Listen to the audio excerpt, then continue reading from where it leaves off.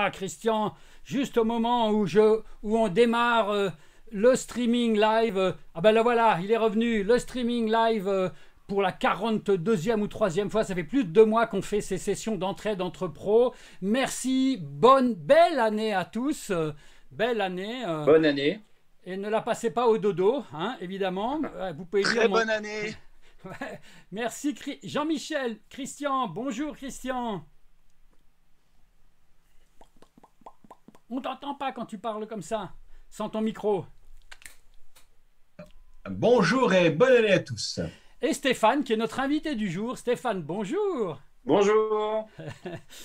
bon, Stéphane, tu vas partager avec nous un petit peu ta, tes idées pour 2021 Est-ce qu'il est nécessaire que nous fassions tous pour être en bonne santé d'ailleurs hein, Puisque toi, tu es un spécialiste euh, des massages par... Et d'ailleurs, tu as toute une équipe, entre guillemets, euh, virtuelle ou réelle, de masseurs non-voyants comme toi ou malvoyants comme toi. Oui, tout à fait. Tiens, explique-nous en deux secondes ce que, tu, ce que tu fabriques dans la vie et justement ce que font tes, tes collègues? Alors, alors ce qu'on fait, euh, en fait, c'est qu'on réalise des prestations bien-être en entreprise.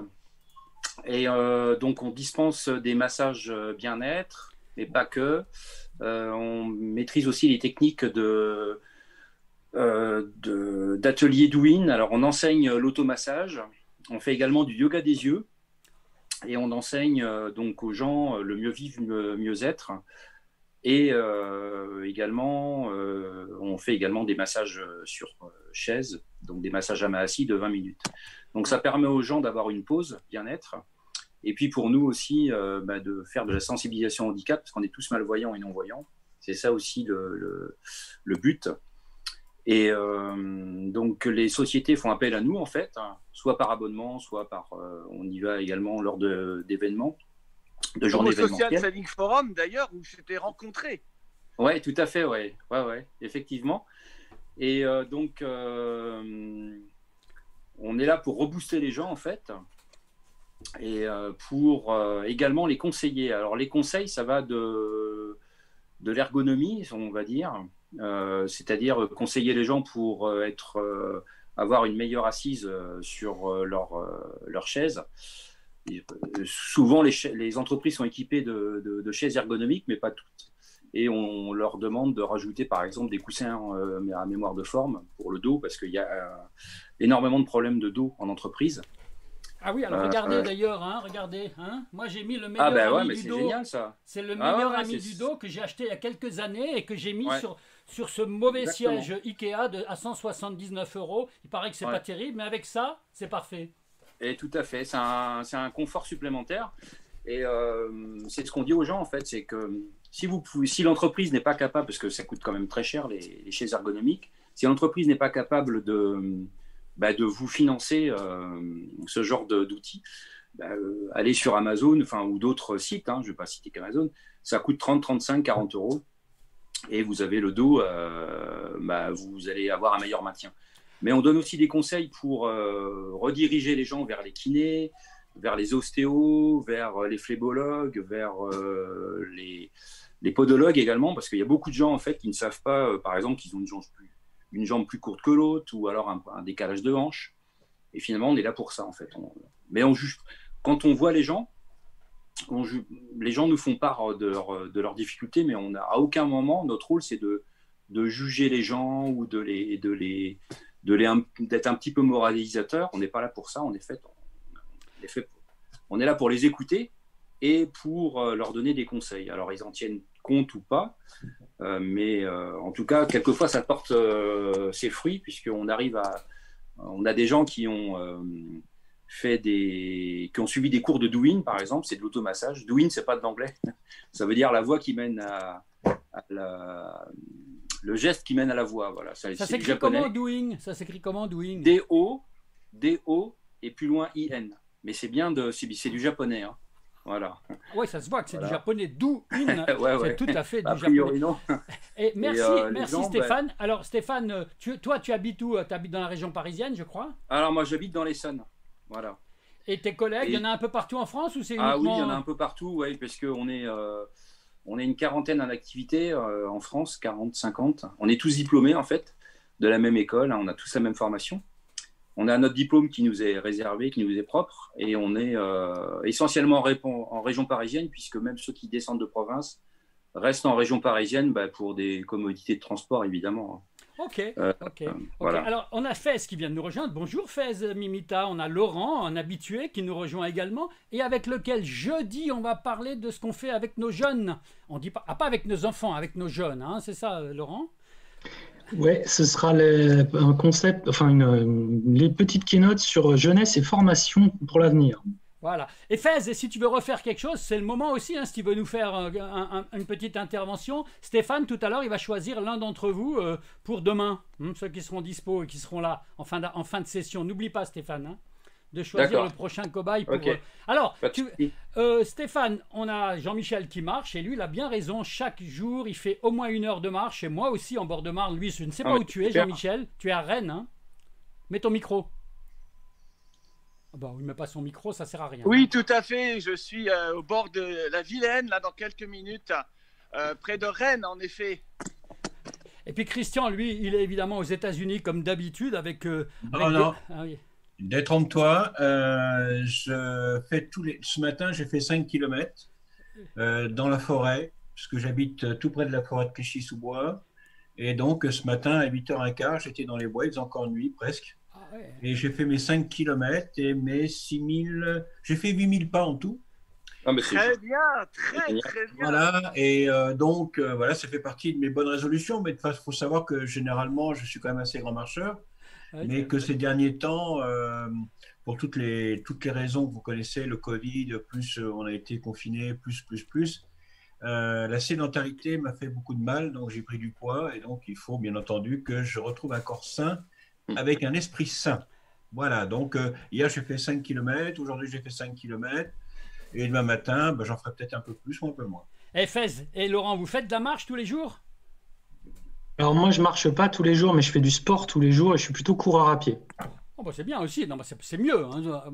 Moi, je veux pas, je suis un peu vieux, moi, à 64 ans, donc je fais de la marche. Et toi, Fès, qu'est-ce que tu fais tous les jours? Bah moi, je, je, faisais beaucoup de sport, mais comme j'ai attrapé la Covid euh, fin d'année, du coup, j'ai tout arrêté euh, parce que parce que c'était extrêmement fatigant. Donc euh, là, pour le moment, je suis en train de reprendre la forme. Oh là, oh là, oui. Ouais, on pense à toi parce que c'est quand même pas simple, ça. Hein. Ouais. Du tout. C'est pour ça, faites vraiment très attention. Euh, il, y a, il y a en fait, tout le monde en parle, mais je pense que les gens ne se rendent pas compte de la gravité que ça peut, ça peut avoir sur la santé. Ah oui, absolument. Mais merci de, de, de ce témoignage. Alors, Stéphane, tu voulais partager quelque chose de particulier avec nous euh, ce matin, entre guillemets, ou cet après-midi, je ne sais pas ce qu'on doit dire, ce midi. Vas-y, c'est à toi, tu as la parole pendant quelques minutes, euh, comme tu le sens.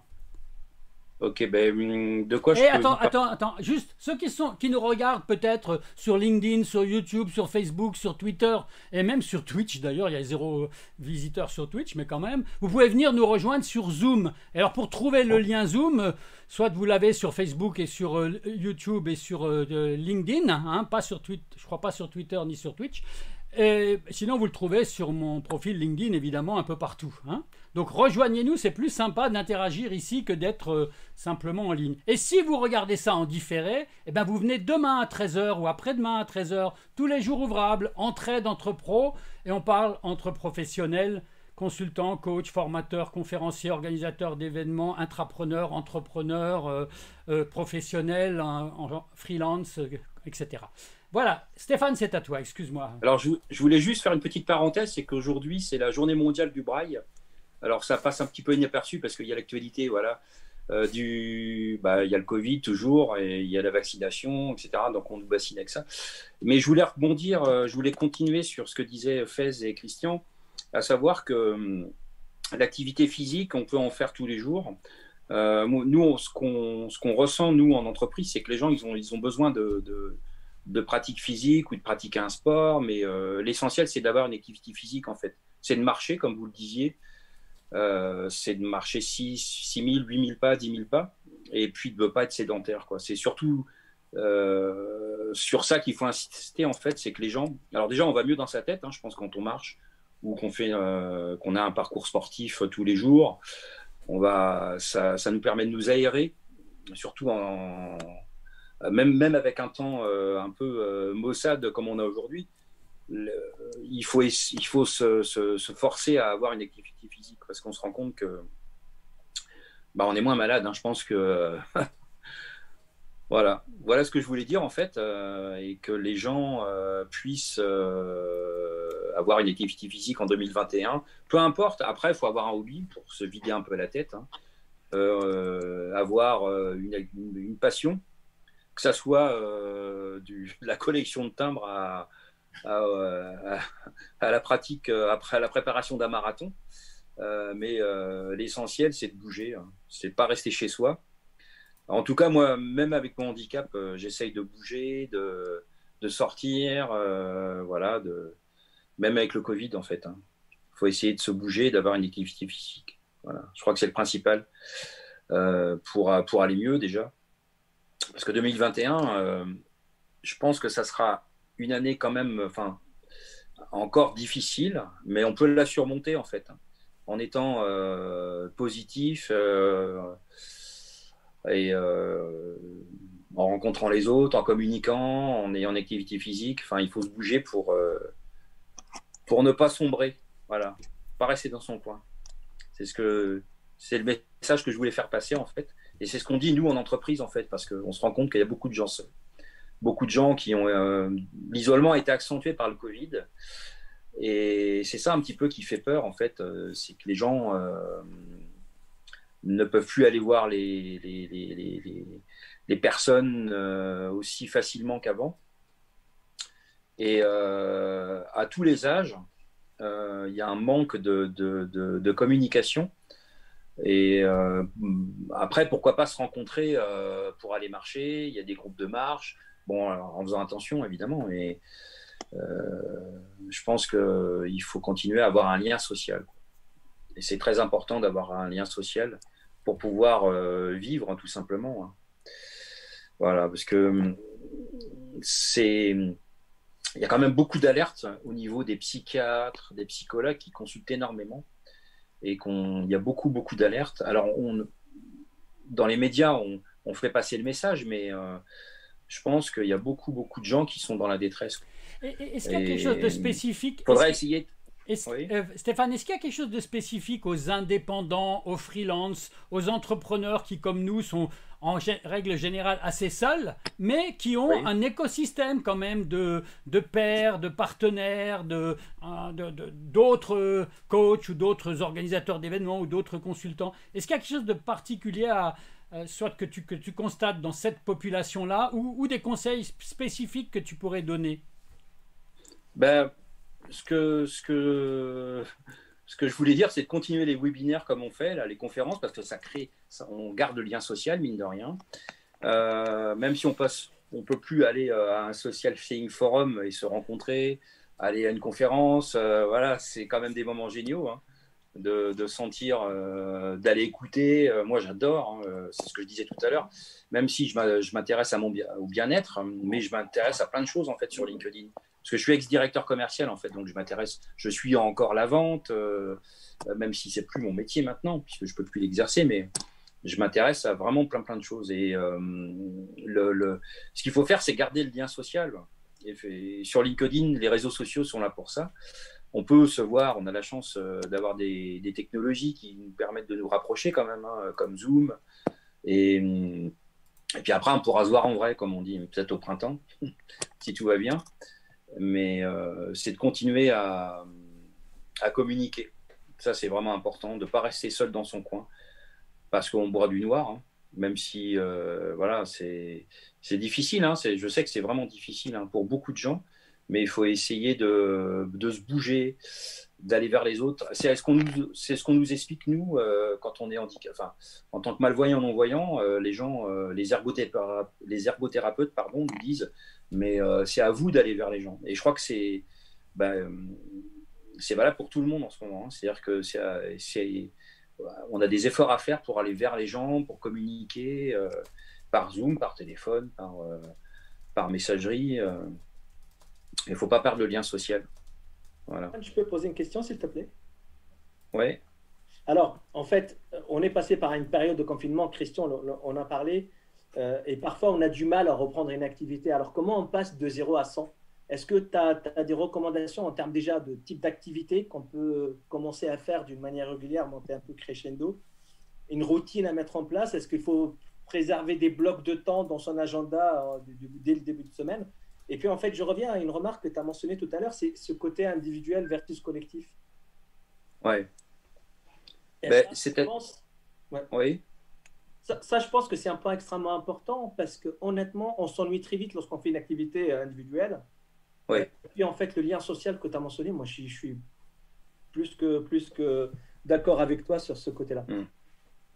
Ouais, c'est vraiment important. Moi je trouve que euh, c'est essentiel en fait. Hein.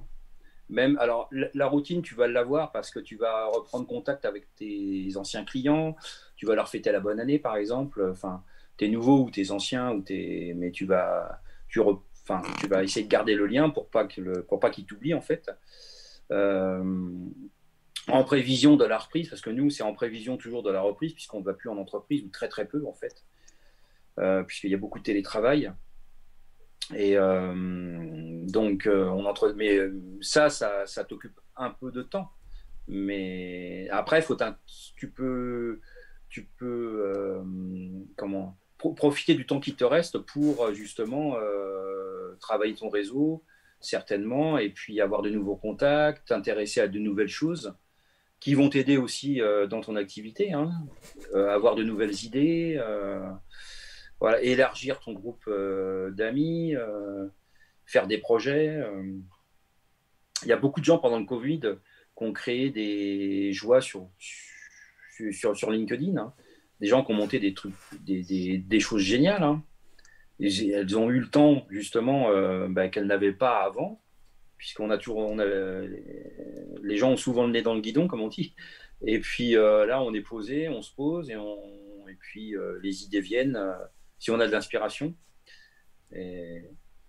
Voilà quoi. Enfin, c'est pas comment dirais-je, c'est pas exceptionnel. Hein. C'est l'être humain qui est comme ça en fait, parce qu'on a, je pense qu'on a tous vraiment besoin de communication. C'est ce que je disais autre jour. Euh, pour moi, la pire des choses, c'est de plus pouvoir communiquer hein, pour un être humain. Euh, c'est la pire des choses qui puissent nous arriver en fait. C'est pire que c'est une torture. Hein. On nous met seuls de quelque part sans communiquer, sans pouvoir euh, euh, parler. Euh, et le confinement, justement, a, eu a, fait des dégâts chez beaucoup de gens à cause de ça.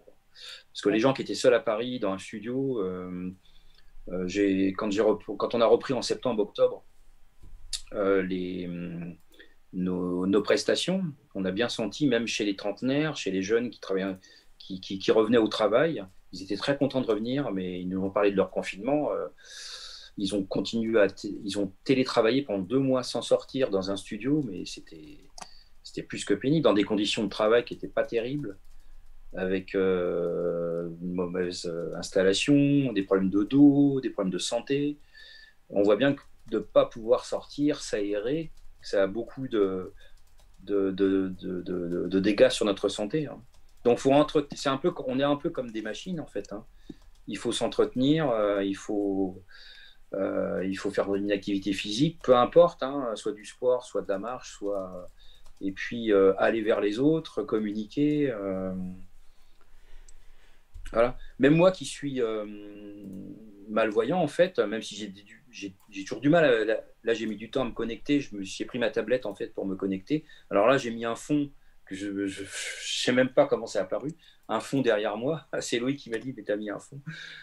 mais j'essaye toujours de... Voilà, je mets plus de temps, mais euh, je mets du temps à faire un poste, je mets du temps à... Je mets du... beaucoup plus de temps que vous, en fait, mais je le fais quand même, je me... Je me... Parce que je me dis que ah, d'excuses, quoi. Tu te donnes aucune excuse. C'est ça qui ah est non, extraordinaire. Je me donne pas d'excuses. Non, non, non. Ouais. Non, non, non. Je me dis que je suis. Il faut que je sois comme vous. Mais... J'étais voyant, donc je, mais je me dis, euh, voilà, il faut que tu te, faut que tu te remues. Quoi. Merci, merci, merci Stéphane euh, pour ce partage. Alors, les gars, je vous signale que je viens de répondre à un certain nombre de, de, commentaires sur, euh, sur Twitch. Twitch Oui. Ah il y a quelqu'un qui voulait parler de Bitcoin, quelqu'un d'autre qui nous a dit bonjour, etc. Et puis alors comme ce sont des, ce sont des pseudos à la Discord. Loïc, Loïc on, a un, on, a un, bomber là. Oui, peut-être. On a un bomber. Peut-être, peut-être, peut-être. Ce que je veux vous dire, c'est qu'il est possible qu'il y ait des bombers ou pas qui arrivent, ou que, ou que ce soit des gens qui veulent vraiment dialoguer avec nous. Si c'est des bombers, ben on fera comme d'habitude. Je, je les enlèverai et j'enlève et je mettrai la salle d'attente et ils pourront plus rentrer. J'espère que ce n'est pas le cas pour KIMP, pour Mobi IXX euh, ou pour je ne sais pas qui. C'est quoi des bombeurs? Il me pose la question. C'est quelqu'un qui vient sur un Zoom comme ça et qui, et qui commence à raconter des conneries ou à mettre euh, un film porno ou à, ou à faire de la musique hard rock, etc. Alors peut-être Oui, regarde le chat, tu vas comprendre. Ah, ah ouais, c'est hacké, Voilà, bon, d'accord. Bon, ok, mais hop, il est supprimé et puis je mets la salle d'attente. Voilà, c'est tout. Après, les gens qui vont arriver, on va les faire rentrer comme d'habitude. Pas de problème. Et je vais me permettre de, rebondir sur ce que tu disais, Christian, que notre corps est une machine. Et alors, à mon tour de vous inviter, si vous le désirez, je fais un, webinaire euh, vraiment très spécial. Euh, je fais en fin de compte deux séances. Une mercredi à 17h30, parce que je suis en décalage horaire avec l'île de la Réunion, où j'ai euh, où je la fais avec euh, un de mes partenaires de, l'île de la Réunion, et un, et un, deuxième à 20h30, heure française, euh, sur justement euh, tout ce qui touche justement à la mécanique de la façon dont notre corps fonctionne, mais vraiment de, la façon au niveau de nos gènes, et, et, finalement comment on peut répondre à certaines problématiques de meilleur fonctionnement, en particulier après des périodes comme celle-là. Et voilà, si vous êtes intéressé, vous me demandez le lien et je ferai avec plaisir, je vous enverrai ça. Ok. D'accord, ça marche. Ok, alors des réactions, encore une fois, euh, par Christian, par Laurent. Euh, Fez a déjà posé une question sur ce qu'a partagé notre ami Stéphane, ou peut-être ton chien, Christian, qui veut réagir avec son... Non, c'est le chien de, notre fille. Euh, je vous présente Cookie. Voilà. Salut Cookie. ah, salut. Et justement, elle vit à l'île de la Réunion, puis là, elle est venue nous rendre visite avec son compagnon. Voilà. Donc... Il y a Bartu Gavac qui est entré dans la salle d'attente. Loïc. Ouais, bah écoute, euh, je vais lui demander qui il est. Vas-y, continue. Euh, Fez. Il y a quelque chose par rapport au corps. Euh, tout comme Fez, j'ai eu le Covid-19 euh, fin mars. Ah, oui. C'est fin de l'année, moi c'est fin mars. Bon, voilà, j'ai morflé. Ouais, ça fait pas de moi un sein, mais bon, j'ai morflé, hein, surtout la température, qui elle m'empêchait de dormir la nuit. Ça, c'est terrible. Euh, vraiment, les heures, je les voyais défiler, tu sais, euh, minuit 45, minuit 52, minuit 59. Tu vois, c'était vraiment à ce point-là. Euh, mais bon, voilà, je l'ai eu. Maintenant, ça va un peu mieux, même beaucoup mieux d'ailleurs. Qu'est-ce que j'allais dire? Ouais, j'ai eu un truc qui me fait souffrir, et on parlait de la mécanique du corps. J'ai eu une, apon, une aponévrose. Une aponévrose. Une voilà. Merci. Et là, je peux dire que j'ai morflé. Pour faire 2 km, j'avais les, les, gouttes de sueur, tu sais. Ah ouais. Mais là, et euh, ma femme, qui d'habitude est toujours derrière moi à 100 mètres, là, c'était elle qui était 100 mètres devant moi.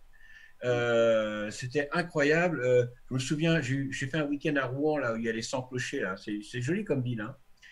eh bien, j'ai vraiment souffert. Le centre-ville, déjà, me fatiguait. Donc, voilà, j'ai pas pu honorer Jeanne d'Arc, du coup. Mais ça m'a vraiment fait souffrir. Et il a fallu 23 séances de kiné pour m'en débarrasser. Tellement que ça me faisait mal. Donc, euh, effectivement. Euh, c'est pas, pas à cause, c'est à cause du Covid, ça? Non, c'est pas à cause du Covid. Pas... 2020 a été une année difficile, on va dire. Et, ah et les gars, j'ai une question. C'est quoi une aponévrose? Me pose, pose euh, c'est Mobile, Mobi XX qui pose la question. une aponévrose, c'est en, dessous le pied, c'est le tendon là, en dessous le pied, comment ça s'appelle le ah, ah merde. Il va du gros orteil au talon, en gros, quoi. Ouais, bah, c'est le, le muscle le plus puissant. Parce que c'est lui qui te soutient dans ta marche, il soutient tout le poids de ton corps. Et des fois, il y a des inflammations et ça peut même claquer. Ouais, c'est un peu comme les coussinets euh, des, animaux. Les coussins, quand euh, les coussinets, c'est les coussinets qui sont sous les, pieds, mhm. sous les pattes. Et là, quand c'est enflammé, c'est enflammé en fait. Et ça ah, fait très mal. Ça fait très mal. Et quand tu marches, tu es comme un petit vieux. Voilà, c'est ça. Et, là, euh, plus, plus, plus ça dure, plus les séances de kiné ne servent à rien parce que tu te dis au bout de 15 séances de mm. kiné, c'est pas possible. Tu, mm. te, tu, tu, te envisages déjà handicapé, avec un petit handicap. Et je mm. peux dire que c'est très pénible pour moi qui aime marcher. Alors euh, maintenant, je peux marcher 5 km sans souffrir. Je peux vous garantir que j'ai de la gratitude. Hein. Ok. Euh, Laurent, est-ce que tu voulais réagir? Vas-y, Laurent. Oui, je voulais, je voulais voir par rapport à ce qu'a dit Fest tout à l'heure. Il parlait de trucs euh, plus ou moins pour s'y remettre. Est-ce que tu parlais aussi, peut-être, je ne sais pas, et du coup je te pose la question, euh, de, petits tips pour retrouver un peu de motivation à s'y mettre? Ok, donc j'avais compris la question ainsi. Euh, et j'ai pas l'impression qu'on ait répondu à cette partie de ta question. Euh, en fait, il y a un truc qui peut être intéressant pour la motivation. il y a deux types de motivation de motivateurs. Il y a les motivateurs extrinsèques et les motivateurs intrinsèques. Bon, extrinsèques, c'est tout ce qui est récompense, bonbons, argent, Bon, ça, on le sait, c'est durablement, ça marche pas. Évidemment, ce qui marche le mieux, c'est les motivateurs intrinsèques. Donc, les motivateurs intrinsèques, ça va être par rapport à ce qui va te faire du bien à toi-même, c'est-à-dire la liberté, le sentiment euh, d'accomplissement. J'accepte Valérie Delic, voilà. Euh, le sentiment d'accomplissement, euh, toutes ces valeurs qui vont être en toi et qu'est-ce que et ce que tu vas faire, en quoi ça va venir nourrir toutes ces valeurs. Et ça, ça va être des motivateurs intrinsèque. Pour faire très simple, euh, si tu veux trouver de la motivation à faire quelque chose, eh bien en fait, il faut que tu te demandes pourquoi tu le fais et qu'est-ce que ça va t'apporter foncièrement. Quand tu auras réussi à répondre à cette question, et ça sous-entend de s'en poser pas mal et de se la poser dans tous les sens différents, et parfois même euh, d'avoir quelqu'un qui t'aide à les poser, ces questions, parce que le problème c'est qu'en tant que personne, on peut se poser que les questions auxquelles on pense, par les autres, euh, eh bien, notamment, c'est le rôle des coachs, alors sportifs ou autres, hein, de, faire une sorte de miroir comme ça, un des rôles. Et à partir du moment où tu vas trouver quelque chose qui, toi, va te parler dans cette activité, je ne sais pas, imaginons que tu dises, voilà, euh, moi j'ai envie de me mettre à courir parce que, je dis n'importe quoi, hein, je te donne un exemple, parce que je dis que j'ai envie de préparer un marathon, parce que moi, pour mes, je sais pas, 40 ans, 50 ans, j'ai envie de courir un marathon parce que c'est une victoire sur moi-même et parce que j'ai envie de le faire et parce qu'il y a six mois, j'étais dans un fauteuil roulant. Enfin, j'en sais rien, tu vois, mais il faut que ça ait du sens pour toi.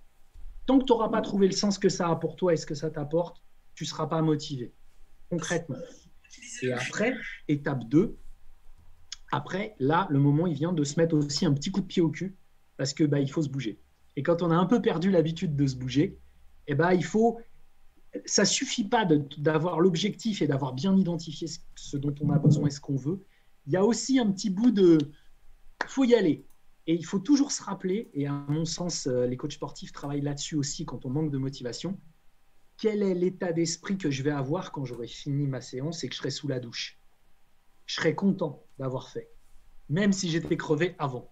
Et il faut toujours essayer de s'en rappeler avant, parce qu'on se dit, ah, je serais content d'avoir fait, allez, j'y vais.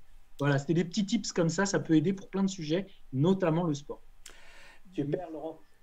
Bah, ah, oui, vas-y, vas-y, Fess, tu peux réagir. Simplement, attends, attends, avant, juste une chose. L'un d'entre vous, quand il parle, il fait du bruit avec autre chose, là. C'est peut-être toi, Laurent, d'ailleurs, qui bouge euh, ton micro, ou c'est Christian? Alors, voilà, hein, c'est tout. Et on, accueille Valérie en même temps. Bonne année Valérie, euh, belle année Valérie. Et à tout de suite. Fez, vas-y, interagis. En fait, je veux rebondir. Merci beaucoup Laurent, c'était super intéressant. En fait, une petite, une petite expérience, c'est que je suivais un coach sportif avec un autre groupe. Et en fait, c'est assez impressionnant parce que la majorité du groupe, ils ont commencé à faire du sport d'une manière régulière lorsqu'ils ont eu un choc dans leur vie privée. C'est soit un choc relatif en fait en relation avec la santé, soit un choc émotionnel important. Et en fait, ce choc est devenu vraiment un booster. Donc euh, ça, c'est vraiment la première remarque. La deuxième remarque, en fait, Laurent, et aussi ça, ça concerne Stéphane, c'est que est-ce que lorsqu'on commence en fait ce type d'activité, est-ce qu'il faut se mettre des objectifs? En fait, ça peut être euh, quanti, ça peut être aussi quali, hein. c'est-à-dire quanti, bah, je vais faire 30 minutes de sport, euh, voilà, et après je vais perdre aussi 2 kilos, par exemple, de poids ou et, ça, c'est important. Et le, troisième point que je voulais aborder, c'est le mental. Et surtout, euh, Stéphane a été un commercial, donc les commerciaux, ils ont besoin d'un mental d'acier. Et clairement, euh, moi, je vois la différence lorsque je faisais beaucoup de sport. Et là, actuellement, euh, ça joue énormément. Hein. ça affecte le mental d'une manière assez importante. Alors, je vais, je vais essayer de te faire un début de réponse, malgré le fait que ça va être générique et pas forcément que pour toi. Donc, je vais essayer de balayer large. alors, au niveau des objectifs, ça dépend des gens. Euh, tu as des gens dont l'objectif va être de se sentir mieux dans leur corps. Et ça leur suffit comme objectif. Parce qu'au fur et à mesure des séances, ils vont le ressentir et ça leur va très bien. Il y a des gens, pour se mettre en mouvement, si on peut dire, ils vont avoir besoin d'un objectif qui va être de dire, bah, moi, je fais, comme tu l'as dit, par exemple, 30 minutes de sport par jour, ou j'ai besoin de perdre 2 kilos. Donc, ça va combiner, la logique de perte de poids est un, peut être intéressante parce que ça peut combiner à la fois l'alimentation et l'activité la, physique, qui sont complémentaires totalement. Hein. Moi, je vais donner un exemple. Je fais beaucoup de sport, euh, énormément. Et il n'y a pas longtemps, j'ai eu une modification dans mon alimentation et j'ai constaté une modification dans ma motivation.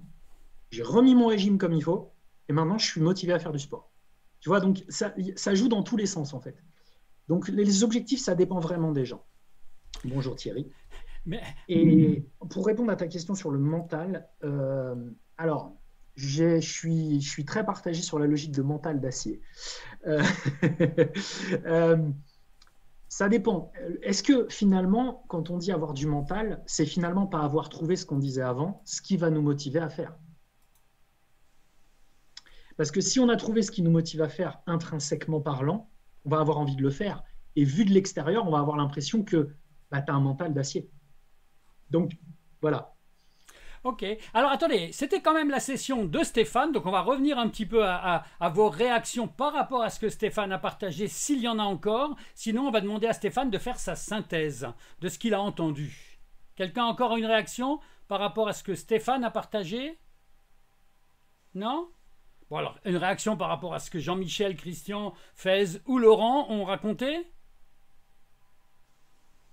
Ah, ça y est, maintenant je vous, je vous émascule, quoi, si je comprends bien de temps en temps. Ah, non, non, non, c'est. Euh, c'est le respect des uns et des autres, voilà. Exactement. Ah, il y, y, a Valérie qui vient d'arriver, mais qui est peut-être écoutée. Vas-y, Valérie. J'avais une question pour Valérie. Ah, bah attends, d'abord laisse Valérie s'exprimer, ensuite tu lui poses la question. Vas-y, Valérie. Euh, j'ai entendu une partie seulement. Bonjour à tous, puis bonne année. Bonjour. Hein. Et, bonjour. et bonjour à Thierry. Et bonjour à Thierry qui nous rejoint depuis les Philippines, je pense. Ouais.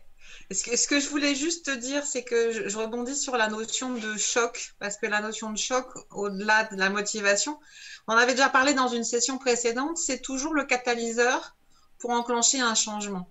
Alors c'est vrai que la difficulté, c'est de se dire, est-ce qu'on est obligé d'attendre ce choc pour pouvoir se, motiver ou pas? Ça pourrait peut-être être anticipé un, un chouïa. Maintenant, c'est un moteur comme un autre.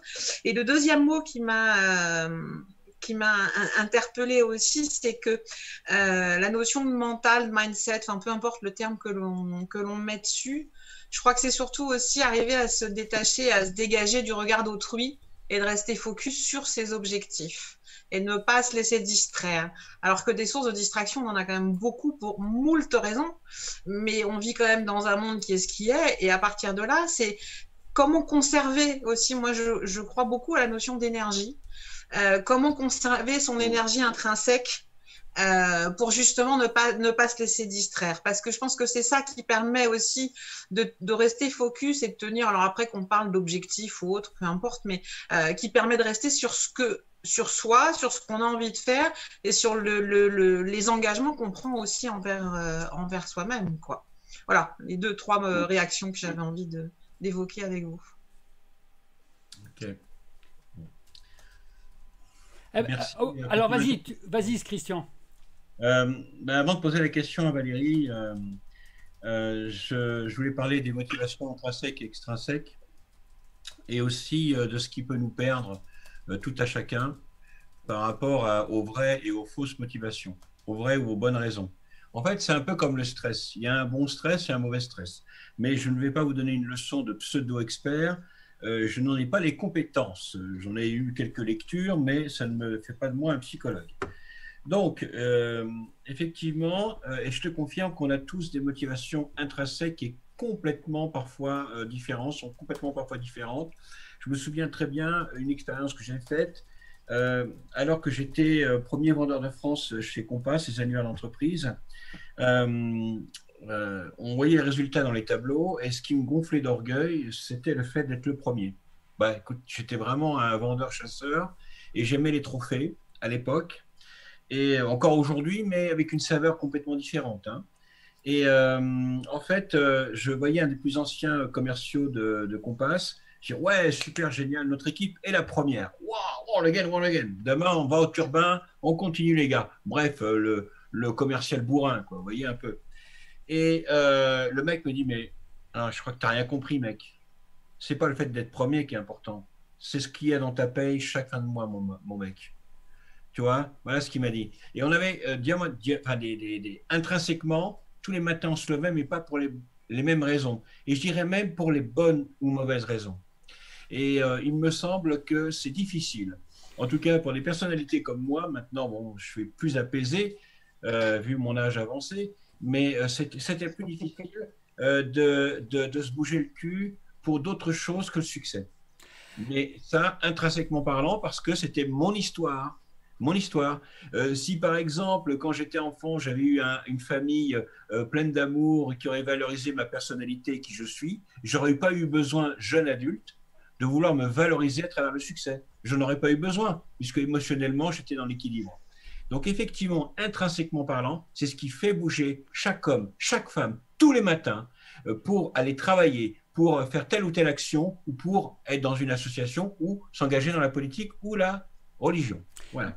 Merci, merci Christian. Alors, on, a, il y a Thierry qui nous avait rejoint déjà il y a quelques minutes. Il y a notre ami François qui vient d'arriver. Ne me, ne me remets plus euh, dedans, hein, euh, Laurent, parce que c'est moi-même qui me mets en salle d'attente, d'accord hein? Voilà. Je dis ça à Laurent parce qu'il est en train de co-gérer avec moi la salle d'attente. Hein Laurent Romani. Attends, qu'est-ce que tu veux dire? Ne me remets plus dedans. Ah non, parce que tu vois qu'il y a quelqu'un en salle d'attente, c'est Loïc Simon, ne me, ne me, ne m'admet ah, pas. C'est pas moi, c'est pas moi. Non, c'est oui. Bon, ok. Excusez-moi, excusez-nous. Alors, pour ceux qui voudraient faire du zoom bombing, pour ceux qui voudraient faire du zoom bombing, malheureusement, comme il y en a un qui est arrivé pour se faire une auto-promo à la con, eh ben on a, on a, on l'a viré et puis on a, on a mis la salle d'attente. Et donc, chaque fois qu'il y a quelqu'un qui s'appelle d'un pseudo, hein, que ça soit, il y en a un à l'instant, c'était Nigger. Alors bon, euh, ok. Euh, moi, je lui demande qui il est. Avant de le supprimer, Laurent, il faut lui demander qui il est hein, dans, la messagerie. Et s'il répond pas, on le laisse faire, on le laisse en, salle d'attente, on ne le supprime pas, hein, d'accord? Voilà. Ok, euh, ben écoutez, merci. Alors Laurent, tu voulais interagir, vas-y, réagis. Et après, après, on aura quand même la, conclusion de Stéphane sur son sujet. Hein. Alors, je voulais, euh, je voulais euh, prolonger un petit peu et revenir sur ce que disaient Christian et Valérie. En fait, moi, je suis très sensible à la notion d'énergie, comme Valérie. L'a dit, et comme tout le monde apparemment, parce que tout le monde était d'accord. Euh, alors, la difficulté de parler d'énergie, c'est que ça, souvent, ça a un côté un peu mystique quand on dit ça. malheureusement, auprès de certaines personnes en tout cas. donc après, on peut l'appeler comme on veut, hein, le flux, l'énergie, la fatigue, on dit ça comme on veut. mais ce qui me paraît intéressant par rapport à ce que tu disais, Valérie, c'est simplement d'ajouter que oui, il faut conserver son énergie. Et à mon sens, moi je partage ça avec vous, conserver son énergie, ça veut dire choisir où on la met. Et pour choisir où on la met, ça veut dire que ça sous-entend déjà qu'il faut savoir distinguer ce qui est en notre, sous notre pouvoir d'influence ou pas. En gros, pour faire simple, ça sert à rien de s'énerver sur la météo. Ça consomme de l'énergie et ça sert à que dalle, par exemple pour prendre un exemple tout bête. Mais il pourrait y avoir des exemples beaucoup plus euh, pertinents et on va dire plus ténus. Euh, S'énerver par exemple contre le président directeur général de la boîte alors que nous on est euh, sous fiche numéro 43, euh, a priori ça ne servira pas à grand chose. Et je voulais aussi parler par rapport à ce que disait Christian sur ce qui nous fait bouger le matin, ce qui nous fait lever le matin. bah, en fait, je suis complètement d'accord avec ce que tu dis. Euh, ça dépend de chacun, des expériences, par définition. La difficulté, c'est que là, tu vois, tu l'exprimes à l'âge que tu as aujourd'hui, avec toute l'expérience que tu as aujourd'hui. Maintenant, tu te connais. À l'époque, aurais-tu été capable de l'exprimer aussi facilement et d'être capable de dire à l'époque, ce qui me fait bouger, c'est ça? Oui. Bien souvent, alors je ne sais pas dans ton cas, hein, je voulais simplement amener le fait que bien souvent, c'est déjà très difficile de savoir nous-mêmes ce qui nous fait bouger. Et si on n'a pas réussi à le définir, bah là, ça va déjà être compliqué de se mettre à bouger et d'être motivé pour quelque chose, pour faire le lien avec ce qu'on disait avec Face tout à l'heure. écoute, merci pour ce, beau, cette belle synthèse. Alors Stéphane, je veux maintenant ta synthèse à toi. Comment tu réagis par rapport aux réactions de chacun? À moins que Thierry et François aient aussi une réaction. Non, Thierry nous écoute, il est gentil. Est-ce que tu es vraiment aux Philippines, Thierry, ou tu es en France? On t'entend pas, on t'entend pas quand tu parles pas avec ton micro. Non, mets ton micro sur, sur Zoom, il faut sur Zoom, faut cliquer sur micro sur Zoom. Oh là là, il sait plus Thierry. Vas-y Thierry. Mais c'est ton truc là qui me remute automatiquement. Donc non, moi je suis aux Philippines.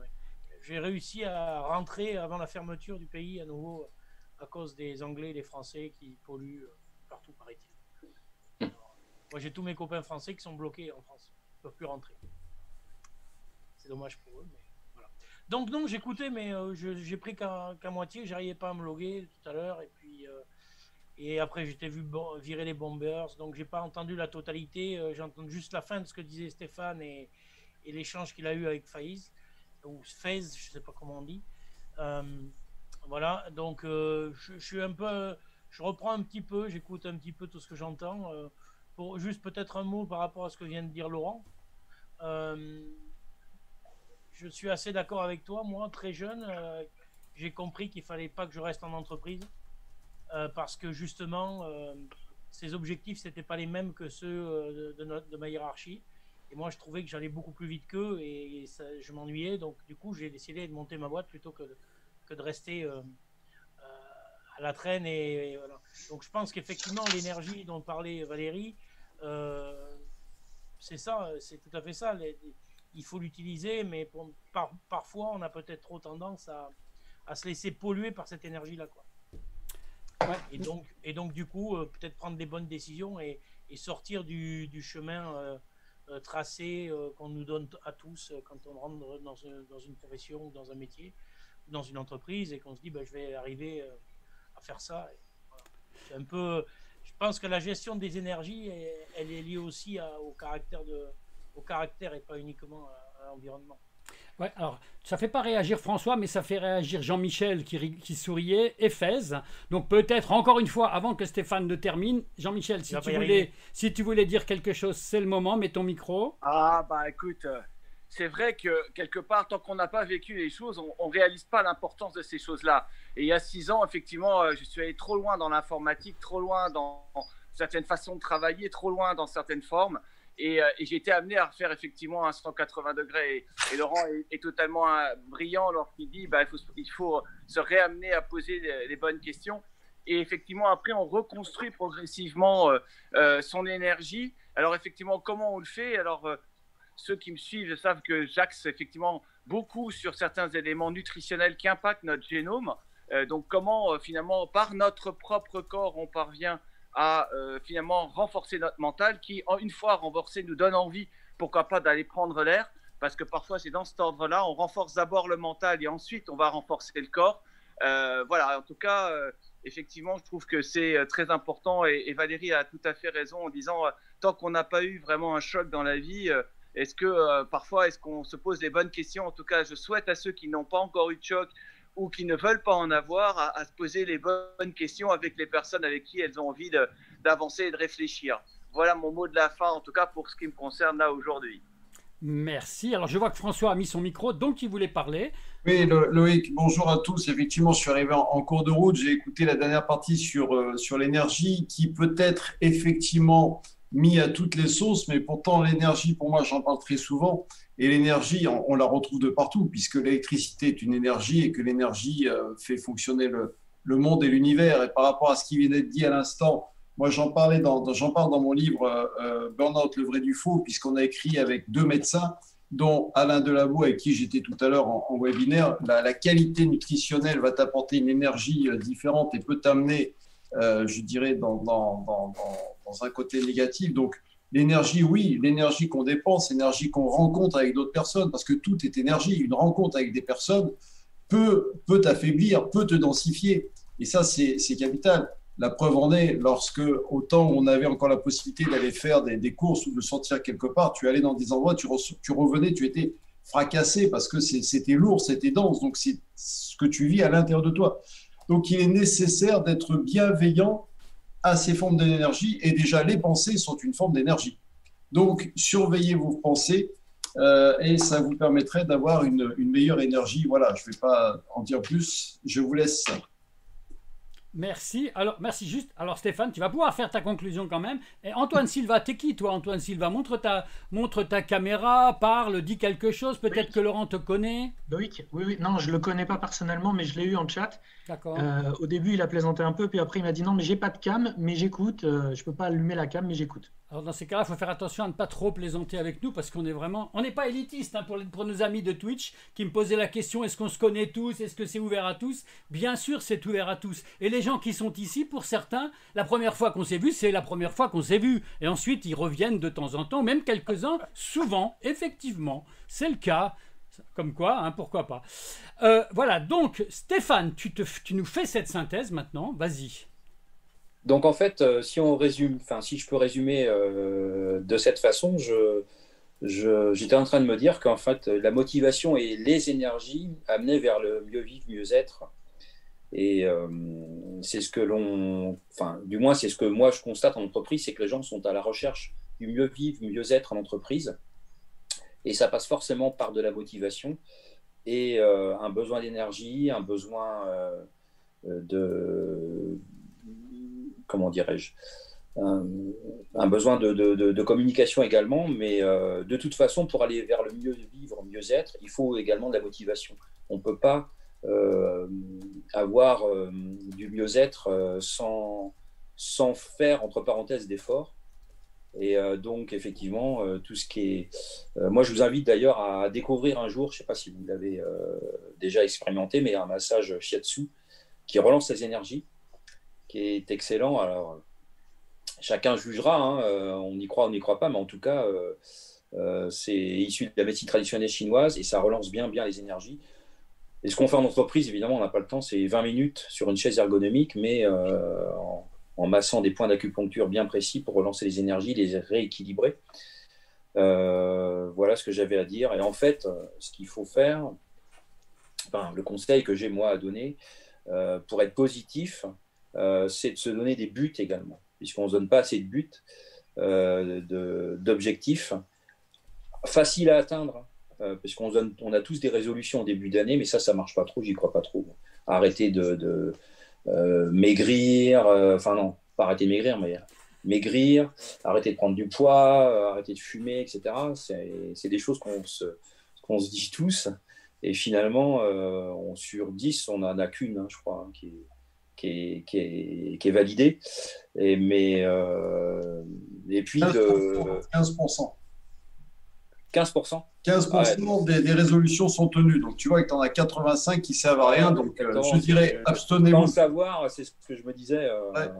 Eh, fais 10 fois la même, comme ça tu seras sûr de la tenir au moins. Voilà, exactement. voilà. Et puis de ne pas se lancer des défis fous. Il y a des gens, effectivement, qu'on voit je me souviens d'une anecdote, mais très vite, hein. une dame qui m'a, une personne qui s'est lancé un défi à 40 ans de faire un marathon. Et puis, euh, je la voyais euh, deux fois par mois. Et, je lui dis alors ça avance? Elle me dit ouais, mais je crois que j'ai changé parce que en fait, elle, euh, elle n'était pas faite pour le marathon, mais elle voulait le faire parce que c'était un défi qu'elle s'était lancé, puis on lui avait lancé le défi. Et en fait, il y a des gens qui se lancent dans le sport à 40, 50 ans, mais qui ne sont pas faits pour pour ce type d'activité ou d'autres activités en fait. Hein. Parce que c'est un peu, un, je crois que c'est un peu un effet de mode de se lancer des défis, mais il euh, faut toujours savoir, euh, bah, il faut toujours se connaître en fait. Mais on peut se lancer des défis, euh, avoir des objectifs, mais atteignables parce que ça peut aussi décourager les gens en fait. De dire voilà je vais me lancer dans le running, dans la natation, dans le triathlon, ou je prends l'exemple du sport hein, parce que c'est le plus le plus simple. Euh, et puis on veut aussi imiter, euh, on veut, on se dit que c'est possible parce qu'on nous fait croire que tout est possible. Or, je pense pas que on a chacun notre notre euh, entre parenthèses notre nos, capacités hein, à réaliser quelque chose. Et je crois qu'il faut, en être bien conscient. Voilà, on peut pas devenir un virtuose de la musique parce qu'on a une méthode toute prête sur YouTube tout est accessible maintenant, et... alors que non, en fait. Mais en tout cas, pour, euh, le mot, enfin, pour moi, mon mot d'ordre pour 2021, c'est prenons soin de nous. Par rapport à tout ce qui se passe, par rapport à. Pas, pas que par rapport au Covid, hein, euh, mais puisqu'il y a beaucoup, beaucoup de problèmes de, santé en entreprise, et on l'oublie. On a souvent des problèmes de dos, de, de, de, vertèbres cervicales, mais ça vient des TMS, tout simplement, des troubles musculo-squelettiques qu'on a. Et on ne fait pas assez de prévention. Après, on va vers. après, ça amène petit à petit vers le burn-out. Il y en a de plus en plus, il y en aura de plus en plus. Et c'est là-dessus qu'il faudrait qu'on essaye d'être beaucoup plus préventif dans, dans, le monde actuel, euh, dans le monde de l'entreprise, en fait. Peut-être que nous, on travaille chacun de. Euh, on travaille plus en entreprise, mais euh, ça peut aussi nous toucher, hein.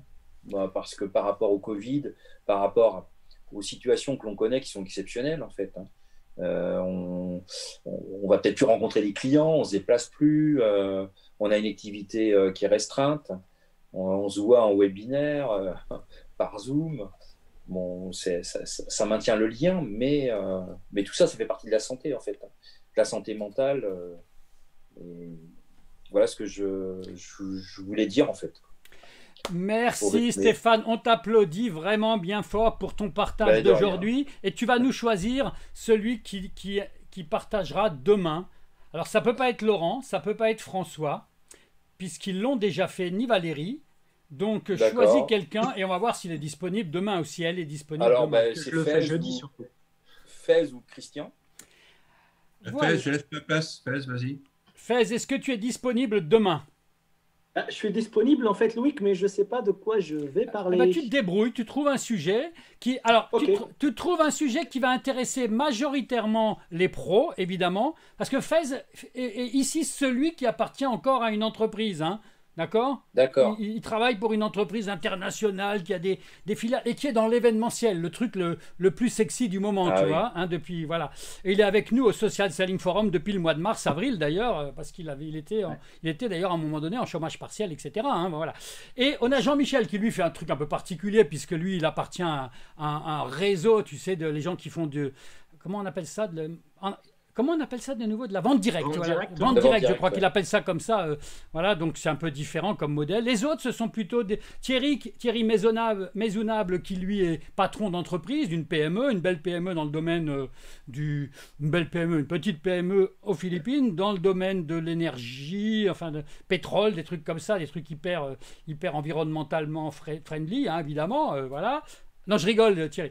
Ça veut dire ça. ah, je sais pas. Et puis, les autres, c'est comme nous, on est des consultants, on est des coachs, on est des indépendants. Laurent, Valérie, François, Christian, moi-même, et toi, Stéphane, hein, avec ton patron d'une TPE. Voilà. Donc, Fez, ça doit adresser des gens comme nous.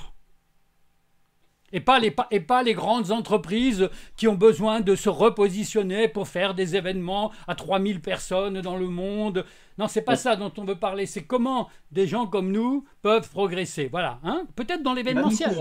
D'accord Je suis en manque, manque d'inspiration, Louis, et franchement, mon énergie, elle n'est pas au top, comme Valérie l'a dit bonsoir, bon. tout à l'heure je fais de mon mieux. Je vais faire quelque chose et je fais de mon mieux. Oui, sinon on parlera. Non, non, mais sinon. Non, mais sinon on parlera ensemble d'événementiel, Christian. Il y a quand même de quoi dire sur l'événementiel, y compris pour des pour des gens comme les coachs, les consultants, etc. D'accord? On a déjà parlé deux trois fois, mais il y a de quoi encore en rediscuter. Est-ce que, est que Louis, je peux juste euh, euh, rajouter quelque chose à ce que Valérie, est-ce que euh, Stéphane, Stéphane déjà merci du fond du cœur, c'était super intéressant. Moi, je veux juste en fait ramener ce que Stéphane a mentionné par rapport à notre contexte actuel et notamment à la virtualisation que nous sommes en train de vivre.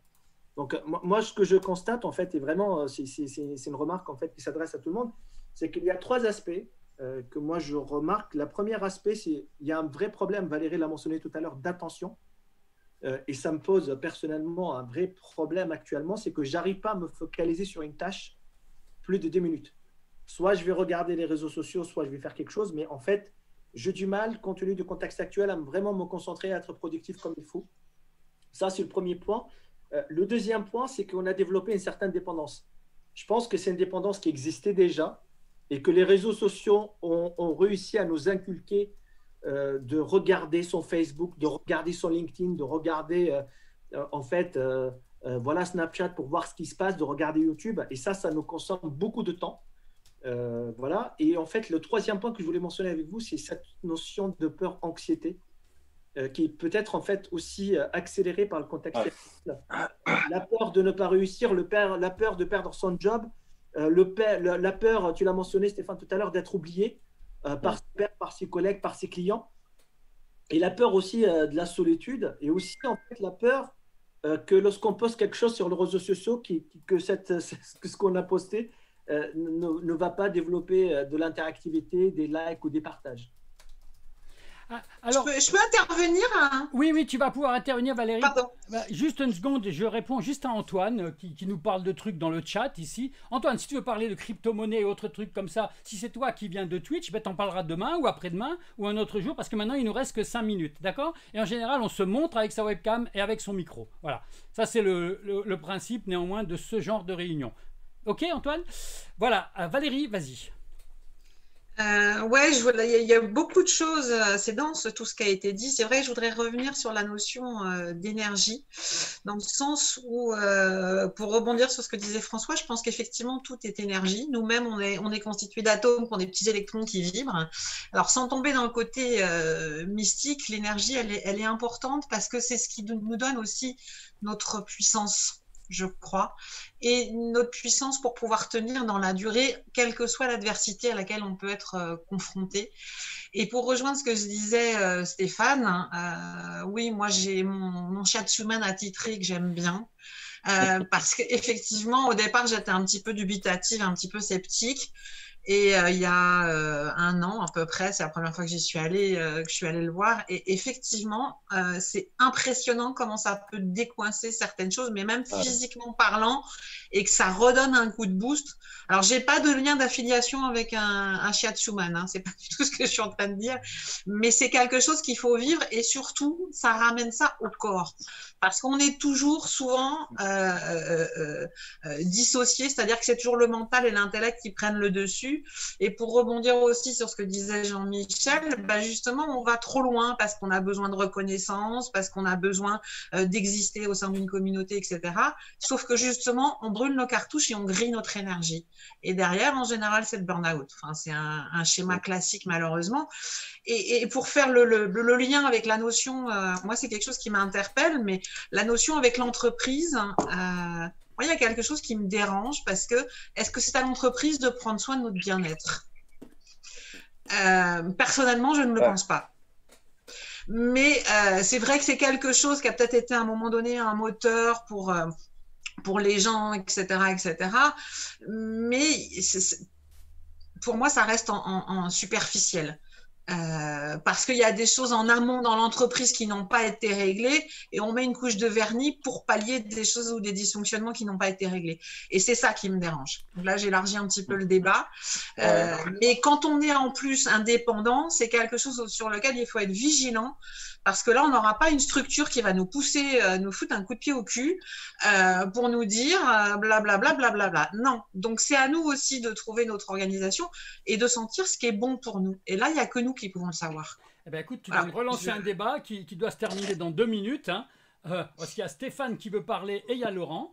Donc on va laisser Laurent. Mais alors rapidement, Laurent ne, fait pas, ne nous fait pas un cours à nouveau sur le bien-être ou sur ou sur la définition dans l'entreprise par rapport à truc. On en parlera demain ou après-demain.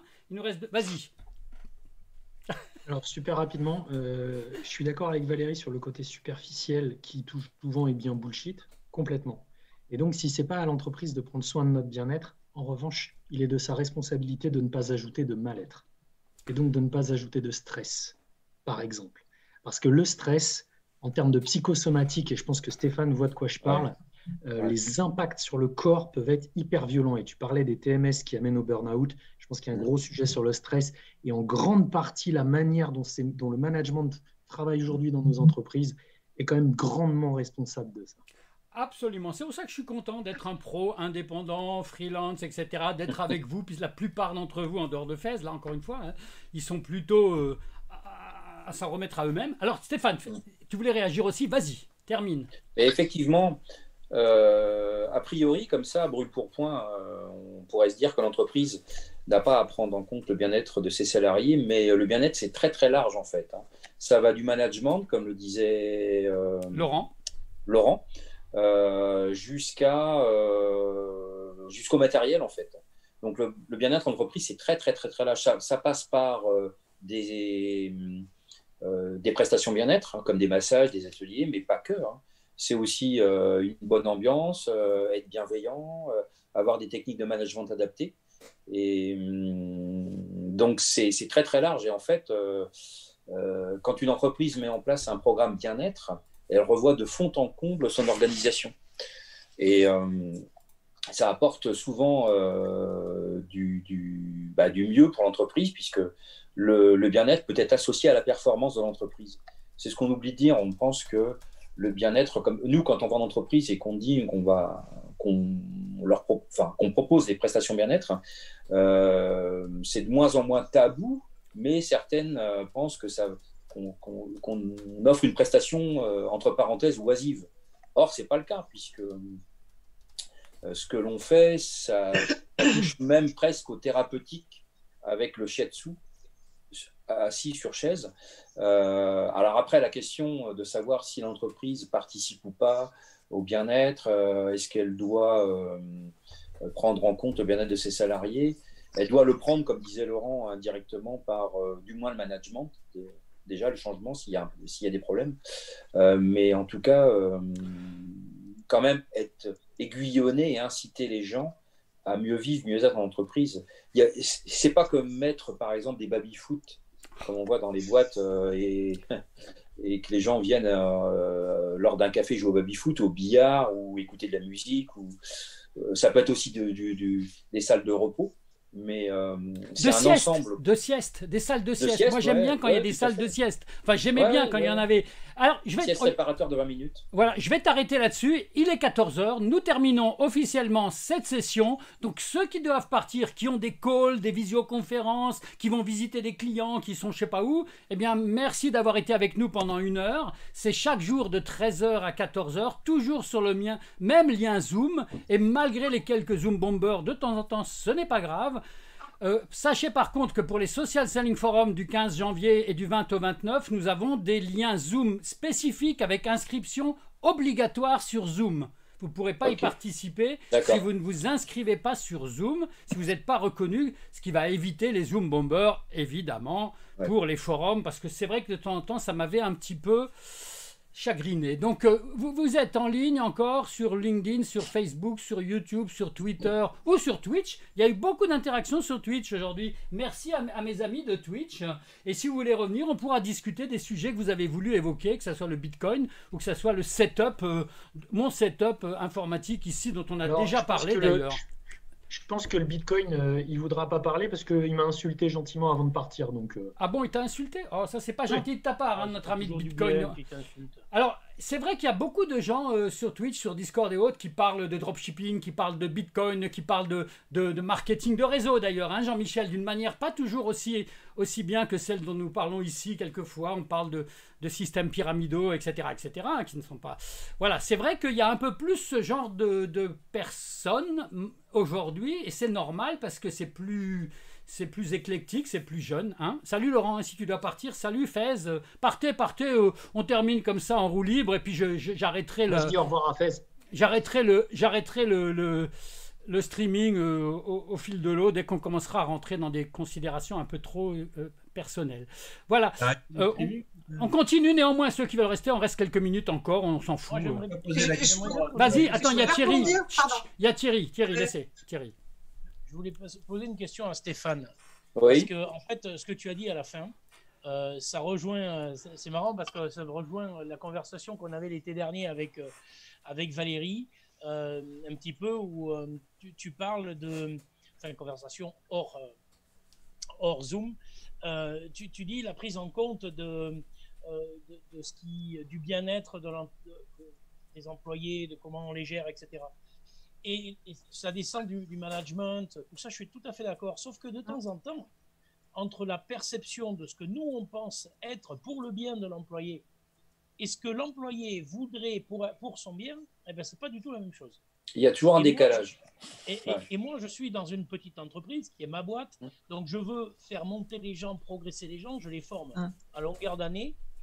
Et comme je, je disais, le, je les forme pour qu'ils deviennent plus compétents, pour qu'ils s'améliorent, pour qu'on puisse leur déléguer plus de responsabilités. Et en fait, je m'aperçois que euh, si je m'adresse à, du, à de, du, de l'européen très souvent, eh ben, ils, euh, ils ont l'impression qu'on est trop directif. Ouais. Et, si je m'adresse à de l'asiatique, puisque moi je suis aux Philippines, Mhm. eh ben, euh, en fait, il y a, y a, toute cette, euh, toute cette notion de, de culture, d'environnement, d'histoire, d'éducation, De respect aussi, peut-être. et qui en fait, euh, ils- ont envie, mais ils n'osent pas. Et alors que les, si on, je fais ça avec des Français, au contraire, ils freinent des deux pieds et me disent mais moi je veux pas être, je veux pas qu'on me donne des responsabilités. Donc tu vois, de- et pourtant nous on veut le faire pour accompagner les gens, pour les Mhm. améliorer, pour pas leur mettre plus de pression, mais au contraire leur leur faciliter la tâche. Et eux le prennent tout à fait à l'envers. Donc là il y a quand même une notion sur le bien-être, euh, le bien-être des uns, ce qu'on voudrait pour eux pour qu'ils s'améliorent. Et moi c'est ce que j'aurais toujours voulu avoir comme manager des gens qui puissent me dire euh, ah ben tiens, euh, oui, on reconnaît tes, tes capacités, on a envie de te faire monter, donc on te forme pour ça, eh bien je m'aperçois qu'en fait, on frustre beaucoup de gens en voulant les former parce qu'on pense qu'ils sont capables alors qu'eux ne le pensent pas. Et, et on avait cette conversation et on, on avait longuement échangé avec Valérie là-dessus. Et, euh, et c'est vrai que moi, je faisais tout ça avec un objectif d'améliorer la, la situation et la- le confort des gens dans leur travail quotidien. Et eux le sentaient plutôt comme une, euh, une, une pression, euh, alors que, euh, tu vois, la- l'approche, elle est... Alors, parler de bien-être, c'est parfois un peu compliqué. quoi.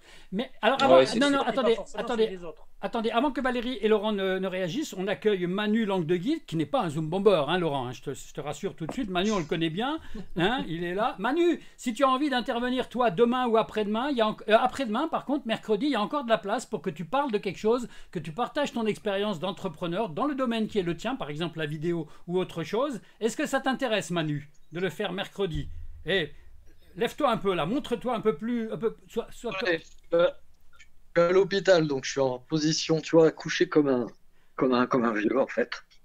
Euh, avec une déco encore, plus dégueulasse que ce qu'on peut faire à la maison.